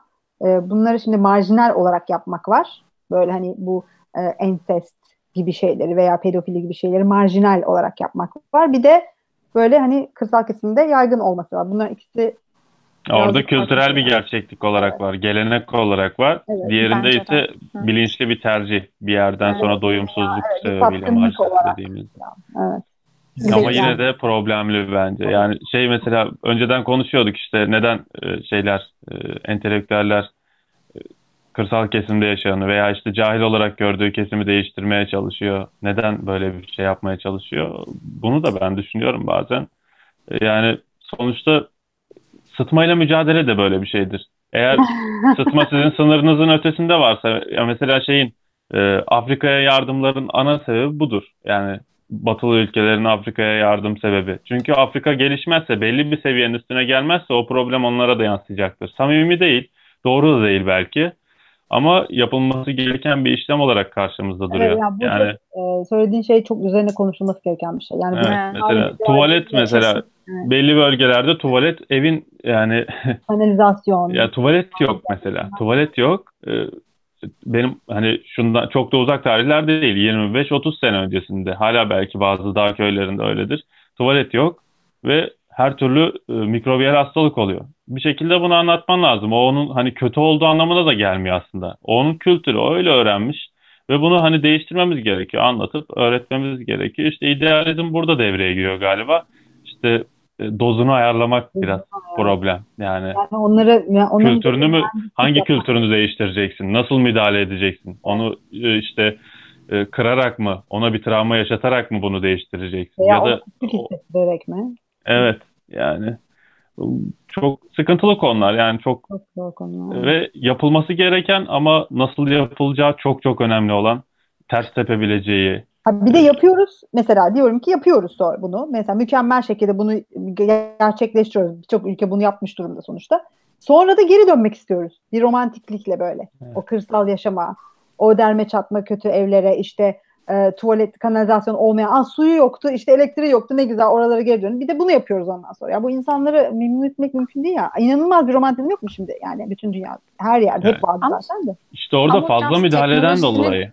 Hı. Bence o teknolojinin biraz gözümüze çok aşırı sokulmasından. Yani şimdi ben internet şimdi düşününce çok absürt geliyor ama ben cep telefonlarının olmadığı dönemleri hatırlıyorum. Ya böyle randevu veriyordun gidiyordun yani gitmek Evet. zorundaydın. O saatte Evet. olmak zorundasın. İnternetin olmadığı böyle şey e, telefonda birisi pardon ev telefonu kapalı olup şey bağlanıp yaşlılar parmak kaldırsın. Ee, öyle bağlandığımız zamanları işte o yok e, ICQ bilmem ne onları falan hatırlıyorum. Ama Evet, ondan ama önce yaşıyor yani- muyduk? Yaşıyorduk yani. Evet, sadece teknolojiyle ilgili olarak değil de böyle onun bir masumiyeti olmuş oluyor o o yaşam tarzının. Onu bir Bana teknoloji romantik- mahvettiği için yapılıyormuş gibi geliyor. Mesela bu organiklik, veganlık bilmem ne. Şimdi eski tarz beslenmemiz devam ediyor olsaydı yani e, şimdi konuyu değiştireceğim ama örneğin veganlığın altında yatan en büyük faktörlerden bir tanesi hayvanlara yapılan eziyetten kaynaklanıyor aslında. Ve e, senin yakınında üretilen e, hayvanlar, e, etler ya da e, e, meyve ve sebzeler değil de e, bilmem nereden gelen şeyler olduğu için hem fiyatının artması hem de onlara yapılan özellikle hayvanlara yapılan muameleden kaynaklanıyor. Şimdi o yüzden millet vegan oluyor ya da organik oluyor. Ama eskiden öyle bir şey var mıydı? Yoktu. işte. Pop kültürü bir de pop kültürü olduğu için bir yandan da yani. Yani evet popüler kültür aynen işte. Bana biraz bu senin bahsettiğin köye gidip yerleşme bilmem ne romantikleşmesi bu aşırı teknolojik şeylerden. Yani teknolojiyi şey olarak kullanmak istemiyorum sadece bilgisayarlar, internet falan filan değil de genel ya olarak genel olarak endüstriyelleşmenin de şeyi var. Endüstriyelleşme. Doğru, daha doğrusu. Evet, daha doğrusu. Ama hem de fazla kötülenmiş, işte fazla kötü müdahale edilmiş. Yani kötü müdahalenin örneği belki de yani köyden kente göçü teşvik etmek. Yani aşırı miktarda kötülüyorsun. Köyü sürekli kötülüyorsun. Orada Hı. yaşamanın aşağı bir şey olduğunu e, düşündürüyorsun. Hoş, çok köylü... fazla müdahale de yok ama yani o köylüde bu oluşuyor. Köylüde Zaman artık gelinler şey, şey diyor. Ben Yo, bizim romanımızda galiba yok ama şeye şehre göç ediyorlar. Mesela gelin şey diyor artık köylerde. E, ben işte köye gelin gitmem. Şehre giderim. Şehirde ha. ev olursa olur. Hani bu tür isteklerle yani şimdi e, e, tabii ki bir e, yani nasıl e, şey yapabiliriz bunu hırs ama kötü anlamda hırs demiyorum. İyi anlamda. İyi hırsa ne, ne bir kelimemiz varsa ambitious'ın e, şeyi ne olabilir? Ya yani. İyi hırslı. İyi hırslı. Azim iyi, mi diyeceğiz? Azim evet. Azim, azim de, evet. evet güzel bir çeviri bu. Yani azim denebilir. Bu, bu lazım bu da lazım.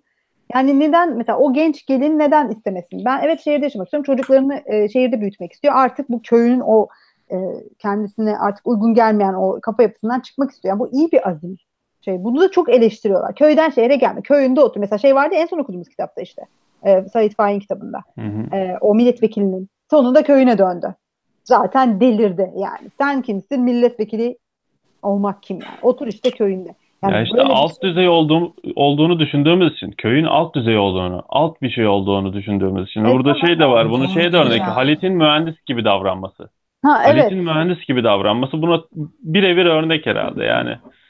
Şey değişiyor sadece. Halit mühendis değil ama mühendisliğin aşırı iyi bir şey olduğunu, mühendis gibi boyunun posunun olduğunu falan söylüyor. Yani bakış açısı böyle. Yani o ya ona öyle şey yapılmış. Şeyler. Mesela Türkiye'de mühendislik tamamen budur yani şey e, yani birinci iş odur yani. Hani bizde zaten öyle astronot falan olunamayacağını göre hani mühendis olursun. Çünkü biz endüstriyel devrim yapmaya çalışıyoruz. Endüstriyel şeye geçmeye çalışıyoruz kırsaldan e, e, yani tarımdan endüstriyelliğe geçmeye çalışıyoruz. kim yapacak bunu? Bunu en bunu yapan kişi işte mühendis. O o şeyin e, amacın kahramanı olmuş oluyor. Mühendisin olduğu kadar endüstriyelleşebiliyorsun. Yoksa hani mesela bizde şey değil bu adamlar. Hani çok bakılan böyle yüksek göre mesela avukatlar falan değil yani. Öğretmenler, avukatlar yerine mühendis olduğunu mu tamam yani. Bu işte ka- e, ülkemizin kahramanı olmuş oluyor. E, bu yüzden aslında orada o kullandığı mühendis şeyi yine yani 22 yaşında bir kızın bunu düşünebilmiş olması bu kadar evet toplumsal şeyi bu kadar güzel bir şey. Yani nokta atışı şeyler var yani nokta atışı yapabiliyor yani anlatımlarında. Ben inanamıyorum yani on, öyle birinden çıktığına. Gerçek bir anlatım olduğu için belki de bu. Hesapsız evet. hiç e, düzenlemeden hesaplamadan tamamen gerçeği anlattığı için. Çok çiğ her şey. Hani evet. çiğ anlatım çiğ. ben bu arada şey köye köy şehir meselesiyle alakalı şunu söylemek istiyorum ya. Ee, şimdi ülkesinden çıkıp bu her ülke için geçerli. Hatta bunu yapan neyse adını hatırlayamadım. Yani gurbetçi olup başka bir yere giden expat dediğimiz kişiler hangi ülkeden olursa olsun yani şey e, sağcılaşmaya başlıyorlar. Ve e, aşırı sağcılığa doğru kaymaya başlıyorlar. Normalde kendi şeylerinde olmasa da. Bu aynı hikaye yani bir ülkeden başka bir ülkeye göçle de e, köyden şehire geçme de aynı şey oluyor. Yani burada da sağcılaşma, dindarlaşma olarak kendisini gösteriyor bizim okuduğumuz ailede de aslında baktığınızda. Ve bu dünyanın her yerinde olan bir şey. Yani e, bununla alakalı bir kitap okumuştum. Şimdi hiç ismini hatırlamıyorum ama yani e, alıyorlar expatleri şey yapıyorlar. Önceki politik görüşleriyle sonra taşındıktan sonrakilere bakıyorlar. Ve bunu bir bakıma şöyle anlatıyordu o kitaptaki teori. E, bunun amacı aslında diyor sağ sağcılaşmanın aslında sen yurt dışına çıktığın zaman o girdiğin kendi ülkenin grubunun içerisinde kabul edilmek için aşırı kendi ülkenci gözükmek bir bakıma sağcı olmaktan geçiyor. kıvamında bir şey söylüyordu. Bu köyden kalmaya çalışıyor.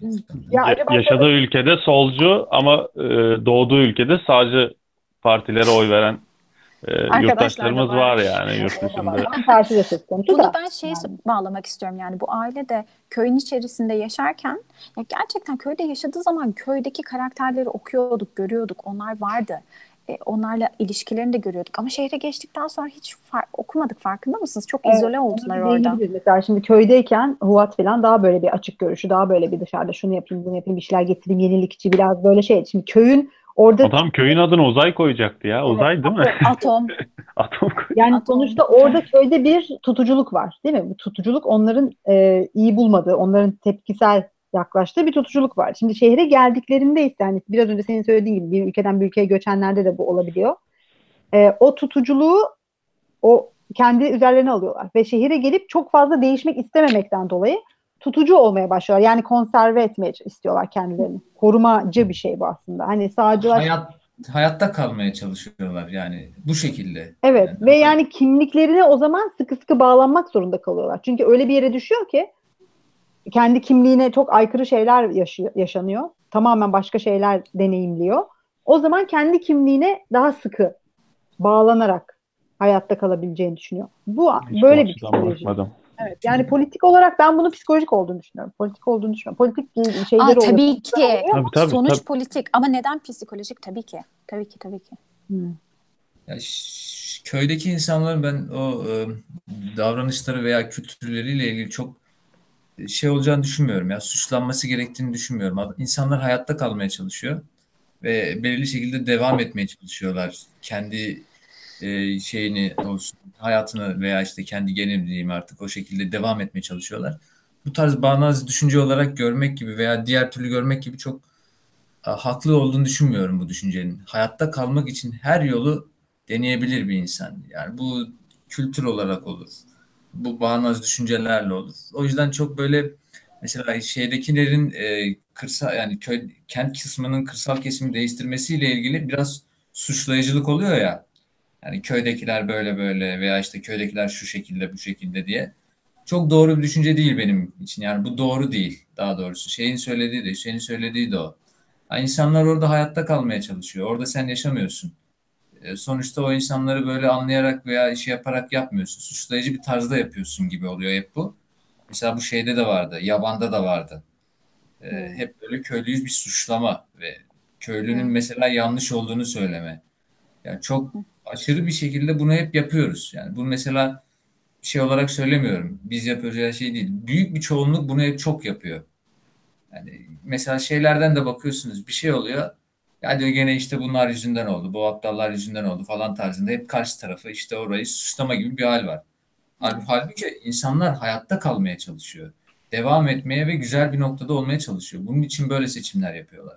Ama Bu bunu şekilde- konuşmuştuk önceden yani kusura bakma bölüyorum da yani şey abi e, ya evet anlayabiliyoruz onları yani sadece şu anki örneklem için söylemiyorum genel anlamda karşımız karşıt görüştekini anlayabiliyorum. Anlayabilmem onun haklı olduğu anlamına gelmiyor. Onun doğru yaptığı anlamına gelmiyor.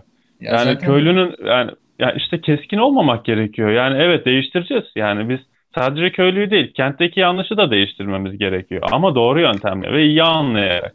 Onun evet o ile yetişmiş olabilir. O onun geleneği olmuş olabilir. Ama yanlışsa değiştireceğiz. Mesela çocuk gelin gelenek abi. Bunu değiştirmemiz gerekiyor mu gerekmiyor mu sizce? Ya bu zaten kesinlikle Ha, oradan gerekiyor. dağılınca evet, şimdi öyle Ya, bakınca o başka. peki çocuk geline gelince değiştirelim diyoruz. Neden başka şehirine gelince değiştirmiyoruz? Yani Şimdi bak bu- sıkıntılı konular bunlar ve çok çok dikkatli hareket etmek gerekiyor. Evet şöyle, yani onların yani bu tarz düşünceleri zaten çok basit bir şekilde yani çok herkesin görebileceği bir yanlışlık. Çocuk gelin, işte erken yaşta evlilik veya işte başlık parası bu tarz Burada şeyleri. birinci, her e, öncelikler burada şey tabii ki. Öncelik yani. Yani bir hani köylünün şimdi- önceliği nedir? Yani çoluğunun çocuğunun bir an önce. Şimdi orada bakın yani biliyoruz ya sorunlarını. Sonuçta ev bark sorunu var. Ee, işte bir e, toplumdan dışlanma sorunu çok yüksek. Yani siz köyden dışlandığınız zaman bittiniz zaten. Yani hani bu Evet. köyden dışlandım gideyim o mahallede şurada oturayım oraya taşınayım diye bir şey yok ki. Bittiniz yani. O köye bir kere kesinlikle kabul görmeniz gerekiyor. Kabul edilmek ve e, dahil olmak. Ya bu kabul edilmek şeyi zaten insan psikolojisinde ne kadar yer alan, yer tutan bir şey yani. Kabul görüyor muyum ben? Biz mesela şehirde kabul gör, göster, görmeyin beni kabul deyip hani şey yapabiliyoruz. Ben kabul görmeyeceğim hatta deyip ben marjinalim şeyine bile yatıyoruz değil mi? Yani bizde öyle bir şey var. Orada bu hayati önem taşıyor. Kabul görmek e, o toplum içerisinde. Bunun için bir topluluğa ait olmak. Ait aidiyet aynı zamanda evet. Doğru kelime bu. Ve orada bu hayati önem taşıdığı için aidiyetin kurallarına birebir uymak e, burada aslında şey gibi oluyor. Yani çocuğunuzu okutma, üniversiteye gönderebilme, işte e, bir şekilde ona iyi bir şekilde besle, besleyebilme, ona iyi da bunlar kadar hani biz bu şehirde bunları yapmaya çalışıyoruz ya ona iyi eğitim, iyi psikoloji, iyi ebeveynlik, ilgi falan. O kadar önemli. Hani biz onlara şimdi diyoruz ki sen çocuğunu niye şimdiden mesela sen başlamışsın 10 yaşındaki kıza evlilik mevlilik diyorsun. Tabii ki öyle diyecek. Hani ne desin? Yani Evde mi kalsın? kurtarmak Evde mi kalsın yani. düşünebiliyor musun evde kaldığını falan. Korkunç bir durum onlar için bu. Ve bu da haklı da yani. Bu sonuçta onların hayatta kalmasıyla alakalı bir şey. Tabii zaten düşündüğü şey onu kurtarmak. Yani evet aslında, onu kurtarmak tabii. Yine işte Atiye'nin e, şeyi bu. Bize böyle Atiye ne yapıyorsun delirdin mi gibi diye düşündüğümüz şeyler aslında onun e, hayatta kalma için kafasında bulundurduğu endişeler. Çok güzel söyleniyor bu kitapta. Ya. Yaptığı şeylerin tamamıyla onları böyle koruma amaçlı veya işte sonrasını düşünmeden onları kurtarmaya evet, ya bir, bir örnek vermek istiyorum bununla ilgili. Ya bu aslında çok aşırı bir örnek olabilir. Ee, ya da böyle hani belki insanların konuşmak istemeyeceği bir şey. Bilmiyorum. Benim için sakıncası yok yani. Ee, bu e, mesela kadın sünneti diye bir konu var sonuçta. Dünyada kadın sünneti denen bir konu var. Mesela bu konu inanılmaz şekilde konuşuluyor. Batı'da özellikle. Onlar için yani inanılmaz bir şey bu. Ne demek bu? Yani gerçekten beyinleri patlıyor yani bunu konuşulduğu zaman ve ne, ne şekilde konuşacaklarını bilemiyorlar. Tıbben mi konuşalım, kültürel olarak psikolojik mi konuşalım, kadın hakları üzerinden mi konuşalım? Delirmiş durumdalar ve bu, ve bütün işleri güçleri gidip o ülkelerde yapılan ülkelerde gidip bunu durdurmak. Yani burada zaten yasaklandı. E, o ülkelerde de. Şimdi mesela Mısır'da kadın sünneti oranı kaçtır sizce mesela?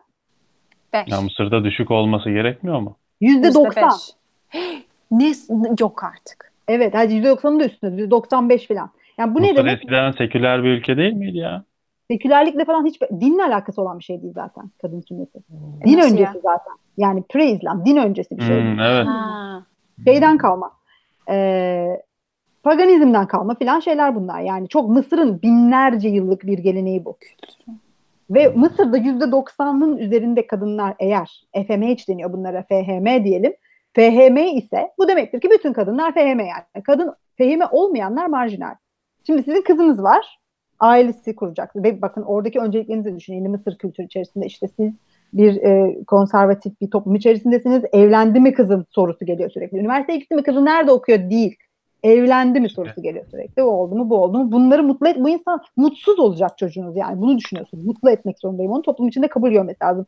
Şimdi sen bu kıza yaptırmadın hadi o FHM'yi. Şimdi bir kere şöyle bir şey var. Kadın hakları üzerinden yürüyor mesela bu konuşma ama bunu en çok yaptıran kadınlar zaten. Annenin baskısıyla bu Hı. kızlar götürülüp FHM'ye maruz bırakılıyorlar. Bunu kadınlar bunu bir statü üstelik şeyi bu Mısır'da. Yani siz eğer böyle e, toplum dışıysanız böyle çok yoksulsanız çok kötü durumda paranız yetmiyorsa buna mesela FHM'ye yapamıyorsunuz falan böyle. Tabii ki de hemen statü şey oluyor ben FHM'liyim gibi. Anlatabiliyor muyum? Yani Veya ne kadar çok zenginseniz yaptırmıyorsunuzdur. Yo zenginler de yaptırıyor. Çok zenginler de yaptırıyor. Hayır, Öyle bir şey- oluyor ya yaptırdım deyip Ha, yaptırmayanları. Belki hani ne bileyim on, şey Mısırlılar da var tabii ki Avrupa'da gezip tozan böyle hiç öyle şeylerle alakası olmayanlar da var. Onlar yaptırmıyordu belki. belki o da. Onu da bilmiyorum. Ama %90 Buna üzeri demek plus %90 yani artı %90 olması bunun. Çok. Çok Evet, yani Ama bir bunu nasıl peki ne yapalım? Mesela, şimdi bir- mesela İngilizler gidip e, şeyde Mısır'da bunun kampanyasını yapsınlar mı mesela? Ya FM yaptırmayın. Ya size ne? Diyebilirsiniz mesela burada. Size ne yani? Binlerce yıldır yapıyorlar bunu ve bunlar üzerine birisi gelip de İngilizlere şöyle söylenir yani o kadar savunuyorsunuz kişisel haklar, özgürlükler, özgürlükler, tercihler diye. Yani kadınların böyle bir hak tercih olduğuna niye karşı çıkarsınız diye direkt olarak geri şey yapabilirler. buradan vurulabilir. Ya buradan şey kadınların tercihi mi ama? E Şimdi Zaten kadınlar kadınlar tercih tercihi. Kadınlar bunu şimdi bunun pek çok bir kere FHM'nin de şeyleri var. Bunun üzerine çok yazı yazdığım için oradan Ama yap, yaptırmayanlara baskı yapılıyor mu? baskı yapılıyor tabii ki. Yaptırmayanlar O zaman tercih olmuyor ki. Hayır şöyle kadınların e, tercihi yani şöyle bir şey mesela Şimdi- bizde Mesela kadınların tercihi. Mesela saçımızı güzel yapıyoruz, makyaj yapıyoruz. Ben şimdi makyaj yapmayı çok mu seviyorum? Yani oturacağım orada 10 saat rimel sür falan. Bunları istemiyorum mesela ben. Ama bir belli bir e, peer pressure. Hani bu mahalle baskısı veya işte e, akran akran baskısı e, da var. Hani mesela biz birbirimizle buluştuğumuz zaman da bunu yapıyoruz. Saçımızı yapıyoruz, güzel giyineyim, iyi görüneyim falan diye. Hani ben onu bir cinsel bir bana e, şey çekiciliğim olsun o karşındaki kadına için bunun için yapmıyorum. Niye yaptın makyaj kız arkadaşına buluşurken? İyi görünmek istedim kendin için de zaten. Hani bu öyle bir şey. Onların kadınlar arasında da e, bir statü sevi bir seviye, bir saflık. Ben FHM'liyim saflığı. Hani ben işte iyiyim, ciciyim. Hani öyle o toplum dışı tipler gibi değilim. Hmm. Böyle bir e, şeyi var. Mahiyeti var. Ama onlara işte dışlanmayacağı bir ortamda bunu yapabilme hakkı verdikten sonra e, hani o zaman seçim hakkı oluyor aslında. Yani bu kadınların kendi isteyerek yaptığı bir şey değil benim gözümde hala. Çünkü diğer türlüsünde yine dışlanacağını biliyor. O toplumdan e, atılacağını. Yani mesele orada seçim hakkı varsa eğer diğer tarafı seçtiğinde zarar görmemesi gerekiyor. Yani bunun karşılığında bir zarar görmeyecekse bakalım o zaman hani kim gerçekten bunu istiyor. Yani ve bunun işte alacağı yani kadın sünneti azıcık azıcık fizyolojisine girecek olursak işte kadının zevk alacağı bölümünün cinsel organından kesilmesi yani. Hı hı. Bunun atılması acaba bunu kadın hani önce bir yani kadın bunun tadına bakıp yani biraz kötü bir tabiri oldu belki ama yani kadın bunu yaşayıp ondan sonra mı karar veriyor? Yani kadın e, dışlanmayacağını biliyor mu? Dışlanmayacağı ortamda o zaman onun seçim hakkı oluyor. Dışlanmayacaksa bakalım o zaman kim Ama nereyi seçecek? Geleneklerde bunu yapamıyoruz değil mi? Yani her seferinde geleneği tekrar sorgulayamıyor. Bir gelenekse bir şey. Artık yani, toplumda yer etmiş bir gelenekte bunu her seferinde istiyor musun diye soruyor. Mesela erkek e, sünnetinde geçerli olabilir bu. Hani erkek sünnetinde evet. İslam'da yeri olduğu için başka bir mahiyette konuşmamız gerekir. Ona bir şey demiyorum da. Onun için yani sünnetsiz olduğunuz zaman mesela toplum içindeki yerini siz seçim, seçiminizle mi yaptınız bunu? Yani sadece din için söyleyemeyiz. Mesela kanibalizm işte yamyamlık olan kabilelerde adamlar büyük çoğunluğu bunun asıl kaynağı e, yiyecek proteinlerin olmaması. Yani şeylerin yamyam kabilelerinin yaşadığı bölgede bitkilerde protein içeriği çok düşük. Patates falan yok yani. Adam proteini bir yerden almak zorunda. E, hayvan da yok avlayabileceği düzgün.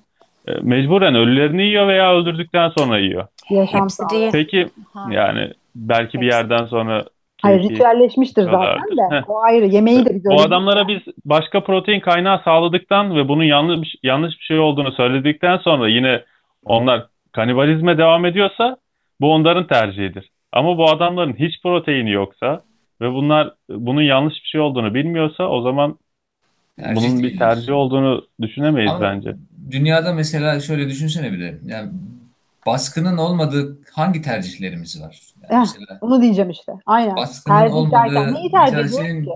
Hangi, hangi mesela bunu bak kendim için de senin için de sorabiliriz. Mesela bizim ter- tercih ettiğimiz mesleklerde baskı olduğunu ben hep şey yapmışımdır mesela. Bu sadece meslek olarak da değil.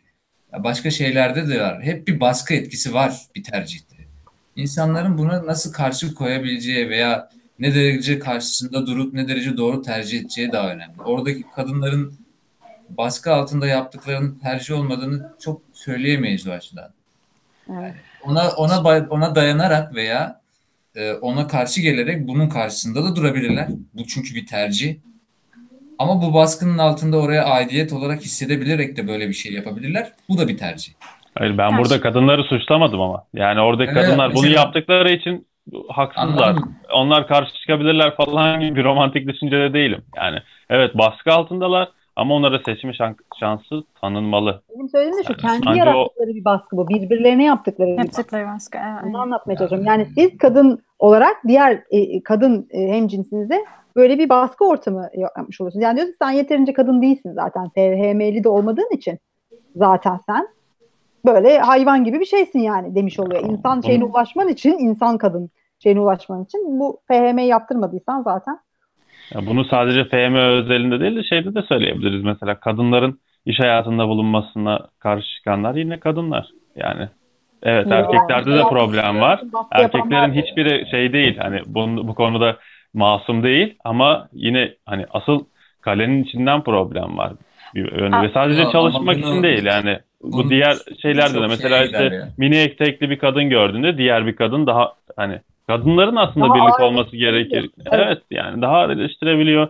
Başka yaftalar yapıştırabiliyor. Tabii. Yani benzer bir örnek olarak ben Mesela bak düşünüyorum. kadınların baskısı mı daha yüksek ama bu konuda mesela e, toplumun veya işte e, erkek bizim olarak yaptığımız baskı mı daha yüksek mesela çalışma. Erkeklerin E, cevap tabii ki veriyorum. erkeklerinki yüksek ama hangisi daha yaralayıcı? Yani ben emin değilim bundan. Anladın Böyle mı? bir- bu Kesinlikle er- Bu ya çok fazla yani şimdi mesela insanların aldığı kararlarda hep bir baskı olacak. Yani şimdiki bugünkü yaptığımız işlerden de bakın şu an bugün neler yapacaksak yani bugünkü aldığımız kararlardan bile bir baskı olacak. İnsanlar bunun düşünerek karar verirler. Ya bir Yani de şöyle bir şey olabilir mi şimdi? tercih yaparlar. olan kadın mesela.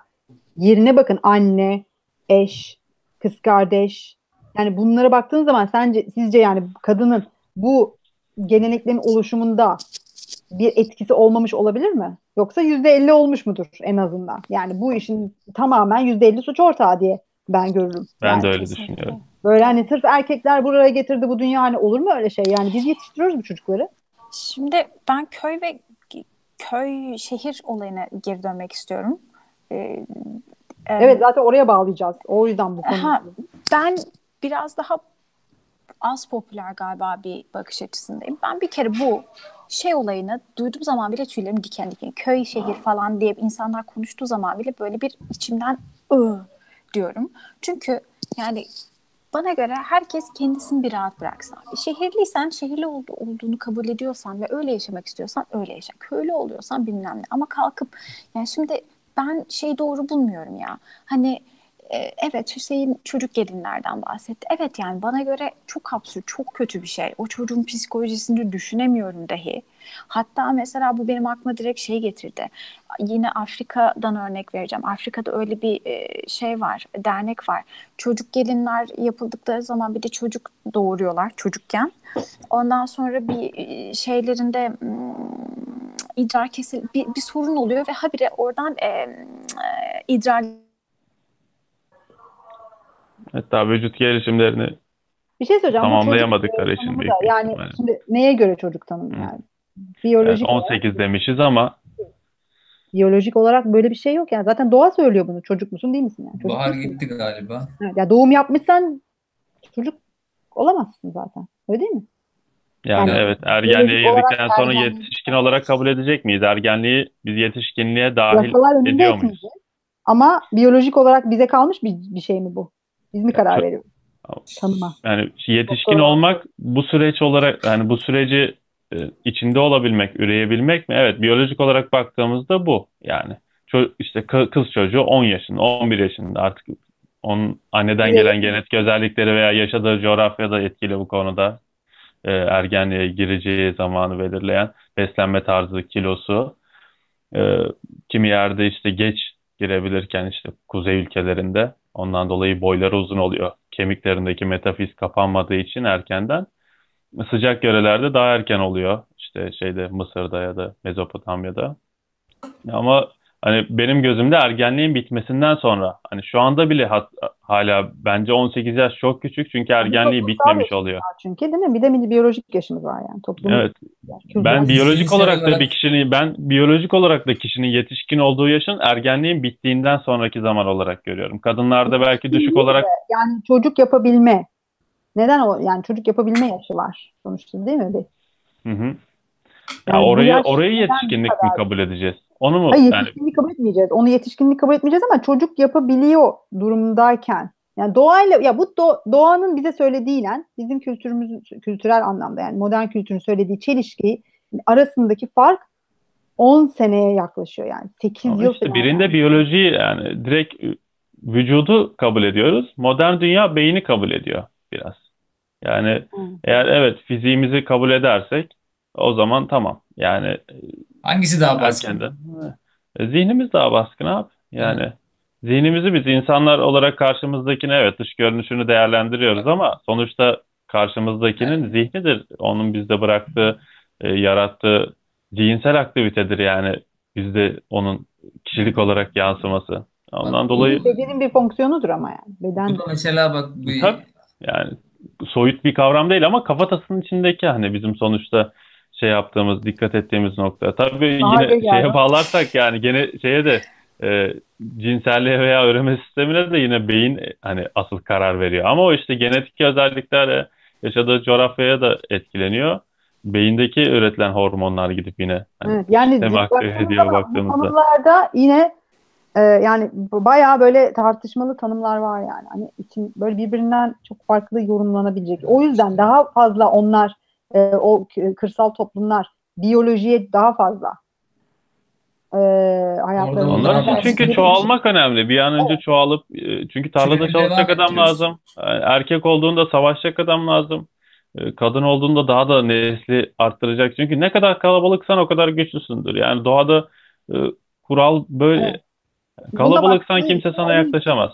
biyolojik yaş birinci da- daha önemli yani. Zihni falan e, o kadar sorun. Yani o yüzden he- hepsinin öncelik şeyi bu. Onlara böyle e, sapık muamelesi yapmamızdan şeyi ben e, onun yanlış olduğunu gösterdim yani Yani onu o- çalışıyorum. Orada ahlaki kurallarımızı neye göre aldığımıza bağlı. Şimdi şehirdekini oraya uygulayınca evet problem çıkabiliyor ama sonuçta yanlışsa yani bize Yani göre mesela oluş- sıtma yani yani diyorsun. Sıtma sıtmadır yani. Evet. Evet yani sıtma sıtma. Bunun düzeltilmesi gerekir ve e, zincirin en zayıf halkasıdır zincirin kuvvetini belirleyen. Ama Hani bu gözle gerekiyor. sıtmanın direkt mesela zararı var yani öldürebilir ama bu öyle bir şey değil. Ya işte Bahar tam düşmeden önce ona örnek veriyordu. Burada mısın? Ben bunu duyuyorum. Bahar. Yok. Ha, Bahar, Bahar, evet. Bahar. Yani işte çocuk da ve fiziksel olarak evet gebe kalabiliyor ama onu doğurduktan sonra o çocuğun hayatı etkilenebiliyor, ölebiliyor. Çünkü işte pelvisi biraz önce siz şey yapmadan önce işte leğen kemiği daha genişlemiş olmuyor o kadar. Yani fiziksel gelişimini evet yani Böyle bir şey var mı tıpta? Yani Tabii o birden gelişen böyle birden her yer olgunlaşmıyor şey için, üreme için. Bir bölümü biraz daha gecikebiliyor. Nerede, e, şey yapılmışız biz acaba yaratılmışız. Mesela hayvanlarda böyle bir şey yok. Onlar Hayvanlarda da benzerdir yani pek farklı olduğunu sanmıyorum. Üreyebildiği ilk anda ürediğinde hani problem yaşayabilir. İlle yaşayacak diye bir şart da yok yani. Kesin sınırlarla belirlenmiş bir nokta yok. Hani belki kiminin işte kemikleri daha erkenden hani e, içerideki sistem yani çok an- şeye girmek Ama istemiyorum ama biyolojik olarak sorunlar çıkıyor yani. Peki, Evet, geç yaşta yani. hamile, geç yaşta, çok geç yaşta hamile kalınmakta da daha ciddi bebekte sorunlar. yani ciddi manada arttırıyor şeyi. Yasaklamıyoruz e, ama bunu. Bu bize bir dokunmuyor. Evet, o, o da o, o da şey ayıp görülüyordu eskiden yani bizim toplumumuzda ayıp görülüyor. yasalarda böyle bir şey yasaya yansıyacak bir şey. Böyle bir şey yapmıyoruz yani. Hani fizyolojik şey. Ama işte orada zihinsel Evet, olarak yetkin ya artık kararını kendi verebiliyor. Bebek Yani çocuğun bebek ve büyük çoğunluğunda anne ölümüne sebep oluyor. Yani bebeğin değil de bebek de evet zihinsel engelli doğabiliyor kromozom anomalileriyle.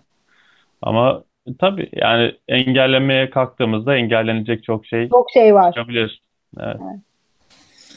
Ben e, kitapla ilgili bir şey söylemeyi unuttum. Ne onu kitabı ya? söyleyeyim. Bir dakika ha kitap evet tamam. hatırladım. Aa, çok uzaklaştık ya. Ben bir şey söylemeyi unuttum da Dirmit'in anlamını baktınız mı Dirmit? Bakmadım. Nedir? Erken olgunlaşan üzüm demek. Ay gerçekten mi? Evet, Roman e, çok tatlıymış. Vermiş. yani Aa, çok yazarın, anlamlı oldu. yaz- yazarın kim olduğu ile ilgili zaten artık Hmm, daha evet. net oluşmuştur. 22 yaşında. Zaten kitap şeyle ilgili şey söyleyeceğimiz şey bu hani da kişilerin yaşından daha olgun tavırlar görüyorduk ya. Yazar Evet. da aslında öyle biri. Hani yazar da 22 yaşında Değil mi? böyle Doğru kitap. doğru. Evet. Yazar da Sanki 70 yaşında birisi yazmış gibi yani.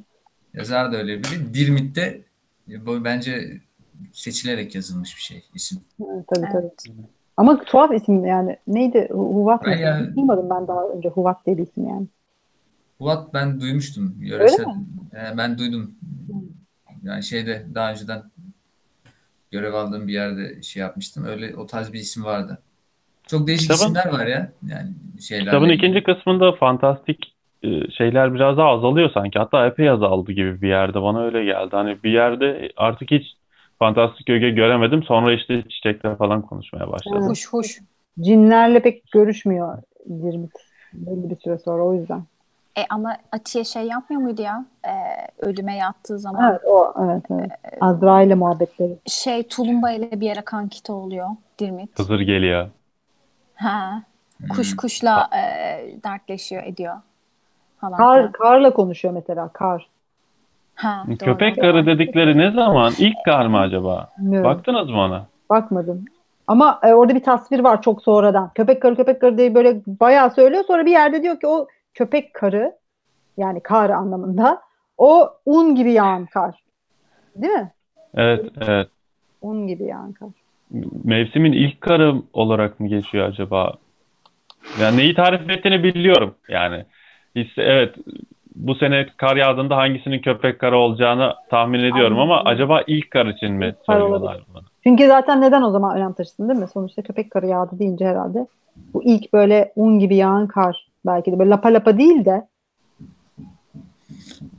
Çok Yani kitap bayağı konuşturuyor ya. çok Ben çok bakıyor bu- yani. ilk başlardan da bazı kişiler konuşurken cümlenin sonunda zar diyor ya. Zar falan diye.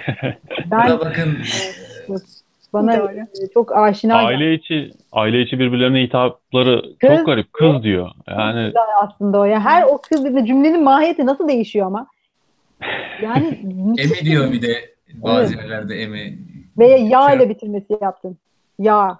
O öyle o, onunla bitirmesi de çok böyle e, E, çocukları annelere hep kız diyordu. evet. Anası da Evet, çocuklarına lan diyor. Haberi. Evet. Evet. Sana ne kız diyor mesela. Hmm. Aile samimiyeti içi- mi gösteriyor sizce? Tabii ki. Yani Aile o aile içindeki samimiyet demeyelim de mesela Kültürel şey de olabilir. Değişik bir yani insanların birbirleriyle nasıl anlaştığını bu şekil diyorsun. Böyle anlaşıyorlar diyebilirsin. Mesela Bu benim e, Hı. daha önceden bir İnce Mehmet'te vardı bu. O e, neydi o kadının adı? Adı aklıma gelmiyor. Bu hani daha bayağı bir çok ters konuşuyor, kavgada söylenmez laflar ediyor demiştik İnce ya. Mehmet'i çok seven kadın mı?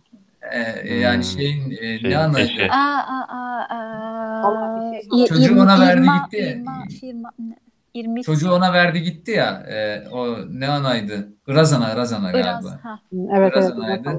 Biraz hala. O da mesela e, o da mesela şeydi. e, çok ağır laflar söylüyordu.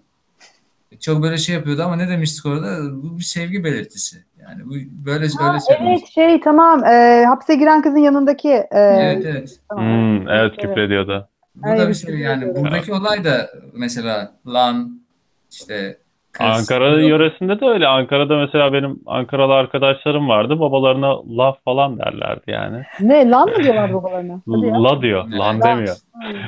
Ya Yani ben, ben daha- çok garip bana yani. Ben babama la desem herhalde. Ay yok, düşün. Olay çıkar. Ya Evet. bu Yani ama, e, çok duyduğum bir şeydi ya Ankara'da. Yani o bak bunun hiç asla böyle e, şey olduğunu düşünmezsin. Bak la ile ilgili Ankara'da çok net söyleyebilirim. O argo bir kelime değil oradakiler için. Evet, evet değil. Yani e, Samimiyet şey, gösteriyor. Bir samimiyet yani bir mesela bunu şey gibi düşünebilirsin. Çok Karadeniz'deki dağ gibi bir şey herhalde. Ne Evet. canım der ya biri birine. Canım der ya işte böyle bir şey der ya. Orada Ne da haber la gibi. yani ne haber canım değil de ne haber la. Yani öyle. Öyle demek daha doğru. Samimiyet belirten. La bebe. Tabii canım ya ben Buna bakın bu bakın benim de bir aralar ağzıma yapışan bir şeydi. Ben Öyle bir mekan vardı güzel. Tavsiye ederim. söylemeyeyim söylemeyeyim diye. La bebe. Yani bu orada çok fazla var ya. Çok kullanan var. Ya ben zaten 9 sene Kayseri'de yaşamış birisi olarak bu bana anlatılan pek çok şey bayağı böyle kulağımda şey yaptı yani çınladı yani hatırladığım şeyler oldu. Biz Kayseri değiliz ama orada babamın işine bir sebebiyle bulunmuştuk. Ee, Farklı bir kültür olarak ben orada pek çok şeyi böyle gözlemlemiştim. Bana bayağı bir şeyler hatırlattı. Ama bu kadar böyle şeyler de yapıyorlar aslında bilmiyorum. Yani ben kendi deneyim için söylüyorum. Böyle ecinli şeylere bazen belki çok böyle Anadolu eski bir Anadolu medeniyeti olmuş olduğu için orada hem Rumların da çok fazla etkisi var. Orada böyle şeyler yapıyorlar. Mesela eve böyle bir şey getirmişlerdi. Ee, benim annem hiç böyle şeyler alakası yoktur ama onlarla böyle eğlenmek için yaptı. Böyle bir sirke gibi bir şey. Üstünde böyle bir sirke e, böyle bir, bir kat katman oluşmuştu falan. Onu böyle eve e, uğur getirmesi için falan getirmişler. Ta o yaşta be, ben o zaman ya 7-8 yaşındaydım. O zaman bile "Üf, ne kadar saçma şeyler falan diye düşünmüştüm böyle nelerle uğraşıyorlar diye. Böyle şeyler yapıyorlar. Sıkıntıdan da almış olabilir Yani. yani. Neredeyse tüm dinler bu topraklarda oluşmuş yani bu bölgede. yani. Bu arada ben internetten düşmeden önce benim söylediklerimin ne kadarını duyabildiniz? Ne kadarı e, yansıdı? Son olarak ne demiştin? Ee, Sen e, doğumdan sonra idrarlarını evet. Tutamama gibi problemden ha. bahsediyordun galiba. Ya ben şunu söyleyeyim, rahatlamak istiyorum. ben hakikaten yani iyi, bir yerden baktığın zaman iyi olabilen, başka yerden baktığın zaman kendi içerisinde mantıklı olabilen şeyler olabilir ama ben şuna inanıyorum. Bir ortam, kültür, absürt bile olsa işte kanibalizmden de bahsedebiliriz. O senin bahsettiğin FMH miydi neydi? Onlardan da bahs yani kadın sünnetinden falan da bahsedebiliriz. Çocuk gelin her neyse. Şimdi bunların hepsinin başlangıcının bir noktası, bir nedenin olduğunu düşünüyorum. Yani o nedenler bence bir toplum ya da bir kültür her neyse tepeden değiş tepeden değiştiremiyorsun. O eğer kültür, toplum kendi içerisinde bir dönüşüm yapmaya ve bir noktada artık e, kendi reformunu yapmaya karar verdiği zaman değişim oluyor. Ben tepeden hiçbir şeyin değiştiğini bu saate kadar bilmiyorum, görmedim. Ya da olduysa da kalıcı olduğunu görmedim. O yüzden çok fazla bu e, ne bileyim şehirlerin kalkıp köylü şöyle böyle demesi ya da işte köylünün kalkıp şeyliğe şöyle böyle demesi. Yani ya işte o kültürün olacak işler değil diyorsun. Yani. Bence yani kültür hangi kültürden bahsede, bahsedecek olursak feministlerden de bahsedip yani bu her şey için geçerli. Değişmek istiyorsa toplum, kültür, grup, insan her neyse onlar karar verdiği zaman değişir. Zorlama ile işte tepeden şöyle yaparsan böyle olurla falan olmuyor o işler. Saçma Ama bile işte olsa. Burada... Peki o kıvılcım nereden gelecek? Hı, Kendi, değişme işte, kararını birinin vermesi gerekiyor. Şimdi, Dışarıdan birinin dışarı, vermesi gerekiyor aslında. Ben, dışarıdan, e, Zorlaması değil. Hayır, onu yöntemini karar vermeyecek o. Yöntemini sonra. Ama değişmesi gerektiğini dışarıdan bir göz fark edebilir. Fark edebilir gerektiğini. Yani. E, o yüzden mesela zaten. bugün hani herkes haberdar birbirinden. Evet, köy e, kent ayrımı kalmadı. Kalmasına da gerek yok. İnternet var, telefon var, televizyon var.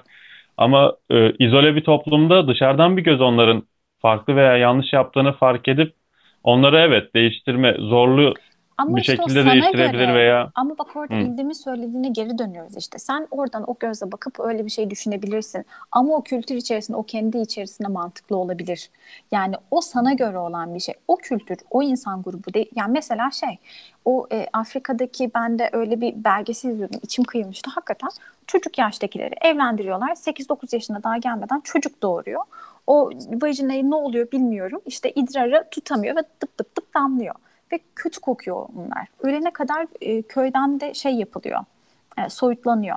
E, sürülüyorlar resmen. Çünkü pis koktukları için bir türlü durduramıyorlar. Yani şimdi bir şey söyleyeyim ama bu belgesellerde de bazen çok fazla politik şeyler olabiliyor. Yani birisi belgesel çekmiş. Kim çekmiş, niye çekmiş, ne anlatmaya çalışmış. Ha, Hangi... Yok böyle böyle kötü şey, batı, yok yok öyle kötü şey, şeyli değil. Yok, kötü anlamda değil mi? İyi de olsa, iyi Şimdi, amaçla da yapsalar. Bazı ben, belgesellerde bu o başka şey bağlamak istiyorum. Şimdi bu baktığımız zaman yani o köyde ya, ya da o toplumda yaşayan kişilerin de ya biz böyle bir şey yapıyoruz. Yani o çocukluktan itibaren çocuk olarak çocuk doğurduğu için öyle olduğunu anlamadığı sürece o şey değişmez. Şimdi sen kalkıp onu bak sen çocuk yaşta bunu evlendirdin o yüzden böyle oldu falan diye anlatabilirsin. Ama o toplum bunu kabul edip değiştirmeye karar vermedikçe değişmez. Yani iş, dışarıdan istediğin kadar yorum yapabilirsin. Yani o yüzden ben tepeden bir şeyin değiştiğini şu saate kadar görmedim olduysa işte da bir ince Mehmet gerekiyor ama ince Mehmet'in şehri de görmesi gerekiyor. Bir ama, ince Mehmet gerekiyor evet ama, ama farklı Mehmet bir yolu de, görürse ince Mehmetler oluşuyor. İnce Mehmet de kendi çevresinin bir ürünü ama. Evet, yani ince, yani de, o zaten. ince Mehmet de kendilerinden bir tane. Haklısın evet, ben sana katılıyorum. Yani evet içeriden birisi değişmeli, değiştirmeli. İçeriden karar vermeleri gerekiyor. Kendilerinin değişimi hissetmesi, değişmelerinin gerektiğini hissetmeleri lazım. Ama ya İnce Mehmet'i birisi götürüp şehre şehri gösterecek ya da, ya da e, İnce Mehmet kendisi gidip şehri görecek. Bir de her zaman İnce Mehmet'in dışlanma tehlikesi var. Evet. Ve bu defalarca denenmeli. Evet, toplum dışı olma tehlikesi var her zaman. Yani onu linç ederler o zaman. Bir de kaç, kaçıncı Mehmet var. Yani. Kaçıncı Mehmet evet. Evet. Kaçıncı Mehmet gerekir bir değişim. Kadere mi bırakmalı bunu? Yani şu anki mesela... e, ama yani şimdi baktığın zaman e, Hristiyanlığın kendi rönesansını falan filan düşündüğün takdirde. Yani onu da yapanlar. Şimdi benim aklım şu anda en büyük örnek herkesin bildiği o geliyor. Yani o da Yani Hristiyan- tepeden inmiş bir şey. O yani. da kendi içerisinde, zaman içerisinde dönüşüp dönüşüp dönüşüp. Ama tabii tepede- ki Orada Yani binlerce yaptığı- ince Mehmet oluşmuş orada da işte. aynen öyle bir kere de her şey Ya o kadar elit- kolay olsaydı Bunu- değişimler Şey, kolay Rönesans olmaz. Ama yani bu elitlerin yapmış olduğu bir şey. Yani sonuçta orada aristokrasiyle falan çok alakalı bunlar. Yani bu da köylüler, otobüsler Tamam da orada. ama para endüstriler, endüstriyelleşme, burjuvazinin çıkışı, burjuvazinin bakış açısı falan onlar yani ya da işte Fransız şey devrimi falan. Ben öyle, ben öyle düşünüyorum. Yani tepeden inmeyle değil yani toplumları bu tarz böyle oturduğumuz yerden eleştirmek çok kolay. Çünkü hele ki bizim gibi ne bileyim ben kendimi şanslı kabul ediyorum. Benim öyle bir annem olmadı ya da ne bileyim e, benim ailem e, kendi yediklerinden içtiklerinden kısarak beni özel okula gönderdiler ki kalkıp iyi bir yerlerde çalışayım. Spoiler alert çalışmıyorum ayrı hikaye. Ama yani e, ben şimdi kalkıp kendimde işte köylü şöyledir ya da işte bilmem ne kabilesi böyledir deme şan- yani sizi eleştirmiyorum bu arada lütfen yanlış Niye anlamayın farklı tabii ki. düşündüğümüzü sanmıyorum ben. Zaten biz de- Yok, Zaten evet. hepimiz Yani aynı bir şeyi şey söylüyoruz da arada bağlantılar Evet. eksik kalıyor. Evet bir de benim internetten düşüşüm tabii. Yani o yüzden evet. böyle oturduğun yerden konuşmak çok kolay. E, e, hakemi kesiyorsun. Oranın içerisinde olduğun zaman yiyorsa ya yani bazen de öyle bir durumda oluyorsun Ya bu ki. da şimdi ama bak modern toplumun böyle bir amacı var. E, çocuk yetiştirelim, iyi yetiştirelim. Ondan sonra sisteme çarklardan birisine çok güzel oturarak iyi öğretelim ki hani girsin. Peki o, o toplum ne üretecek? Ne üretecek? İşte mallar üretecek, şunu üretecek, bunu üretecek. E ondan sonra yani burada amaç ne? Neden? Neden yapıyoruz ki bunları yani? Bence gidelim köyde oturalım ve böyle elma falan yiyelim yine. Bilmiyorum yani. Balıkçı Devam ile edelim. iş adama hikayesine galiba benziyor bu. Hangisi? Yani bir Hmm. balıkçı Evet. ya gelip iş adamı. yani Yo da- bizdeki değil da yani. cevap- Metafor. Yani hani fe- felsefi anlamda bakarsak diyeceğim. Yani bu da cevap istedim. Ne oldu yani? Yetiştirdin kızını gayet güzel yolladın. Bilmem ne şirketinde üst düzeyde yönetici oldu. E mutlu oldu mu? E oldun mutlu tamam. Ama ya, e, ne oldu? Yani insanlık anlamında yani felsefi anlamda neye vardık yani burada? Hı. Bir köylünün yaşamından daha mı iyi oldu bu şimdi? Hı. Bilmiyorum. Bu da yaşamın amacı olarak neyi gördüğüne bağlı. Evet. Kimisi dini koyabilir. Kimisi işte ben kişisel Üretimi olarak mesela. Üretim. yani Ne? üretim. Kimisi ömrü boyunca en fazla üretimi yapmayı koyuyor. Ne? Ben bilgi ve en fazla öğrenebileceğim şey olarak koyuyorum. Farklı şeyler konulabilir. Ona göre yaşamını şekillendirebilirsin. Bu çok derin bir konu ve içinden çıkamayacağımız Evet. bir konu gibi geliyor bana. Evet böyle çıkamıyoruz zaten gördüğünüz gibi 12 oldu. Henüz dünyayı da kurtaramadık zaten. Artık diğer Nuri Bilge Ceylan'ı ben bu yayına davet etmek istiyorum. Ben Latife Tekin'i çağırabilirdik yalnız. bu Süremiz yetmez bence Nuri Bilge Ceylan için. Yani Orhan önümüzdeki hafta bağlandığı zaman bir konuşuruz yine. Yavaş konuşan bir Rıdvan, Rıdvan'ı ben bekliyordum bugün de ya. Aa evet ya. Rıdvan. Bu arada Alp sana. geldi çıktı e, bir şey Evet. söylemeden. Sibel Ben- geldi çıktı. Evet. Sibel geldi çıktı. Peki öyle olsun. Ona da bir şey demiyoruz. Biz zaten yeterince herkes için konuştuğumuzu düşünüyoruz. Yani Türkiye için konuştuk neredeyse. Bayağı laf ettik. Yani bayağı konuşturucu bir kitap. Evet. Yani çok şey daha o Evet. daha konuşuruz yani. Bir de birbirimizi de daha fazla tanımaya başlayınca daha çok konuşmaya başladık gibi. Evet evet o da doğru değil mi? İnsanlar daha böyle birbirimizle iletişimimiz e, şey oldu. Daha iyi hale geldi. O yüzden daha e, verimli konuşabiliyoruz. Bu arada unutmadan ikinci, bir, bir sonraki kitabımızdan da bahsedelim belki. Çünkü bir amacımız var burada. Burada evet Puslu Kıtalar Atlası unutmuştum adını da. Puslu Kıtalar Atlası'nı okuyoruz. İhsan Oktay Ana. Öyle demiştik yani. Bir değişiklik yok. Zaten listemizde daha önce vermiştik. Değiştirmesek daha iyi. 238 sayfalık bir kitap bu. Sevgili Arsız Ölüm Kadar. Ee, bir sayısı var. İki haftada yine iki haftalık bir süre verelim mi yoksa ne yapalım? Ne diyorsunuz? Biraz baktım ben. Ee, Hızlı biraz. okunabilir ama Akıcı biraz. Akıcı mı? ben ilk Yani çok hızlı okumuştum okuduğumda. Öyle mi? Ee, Çok hızlı akıyor ama bence hepimiz yoğunuz. Hani Ne yapalım? ikiye bölebiliriz. İkiye Bence- değil mi? Bence de bitirebiliriz ama daha fazla kişinin eğer katılmasını istiyorsak bir sonraki yayına e, bence ikiye bölmekte yarar olur. İkiye bölmekte e, yarar oluyor çünkü gerçekten stresli. Evet. ben olabiliyor. ya.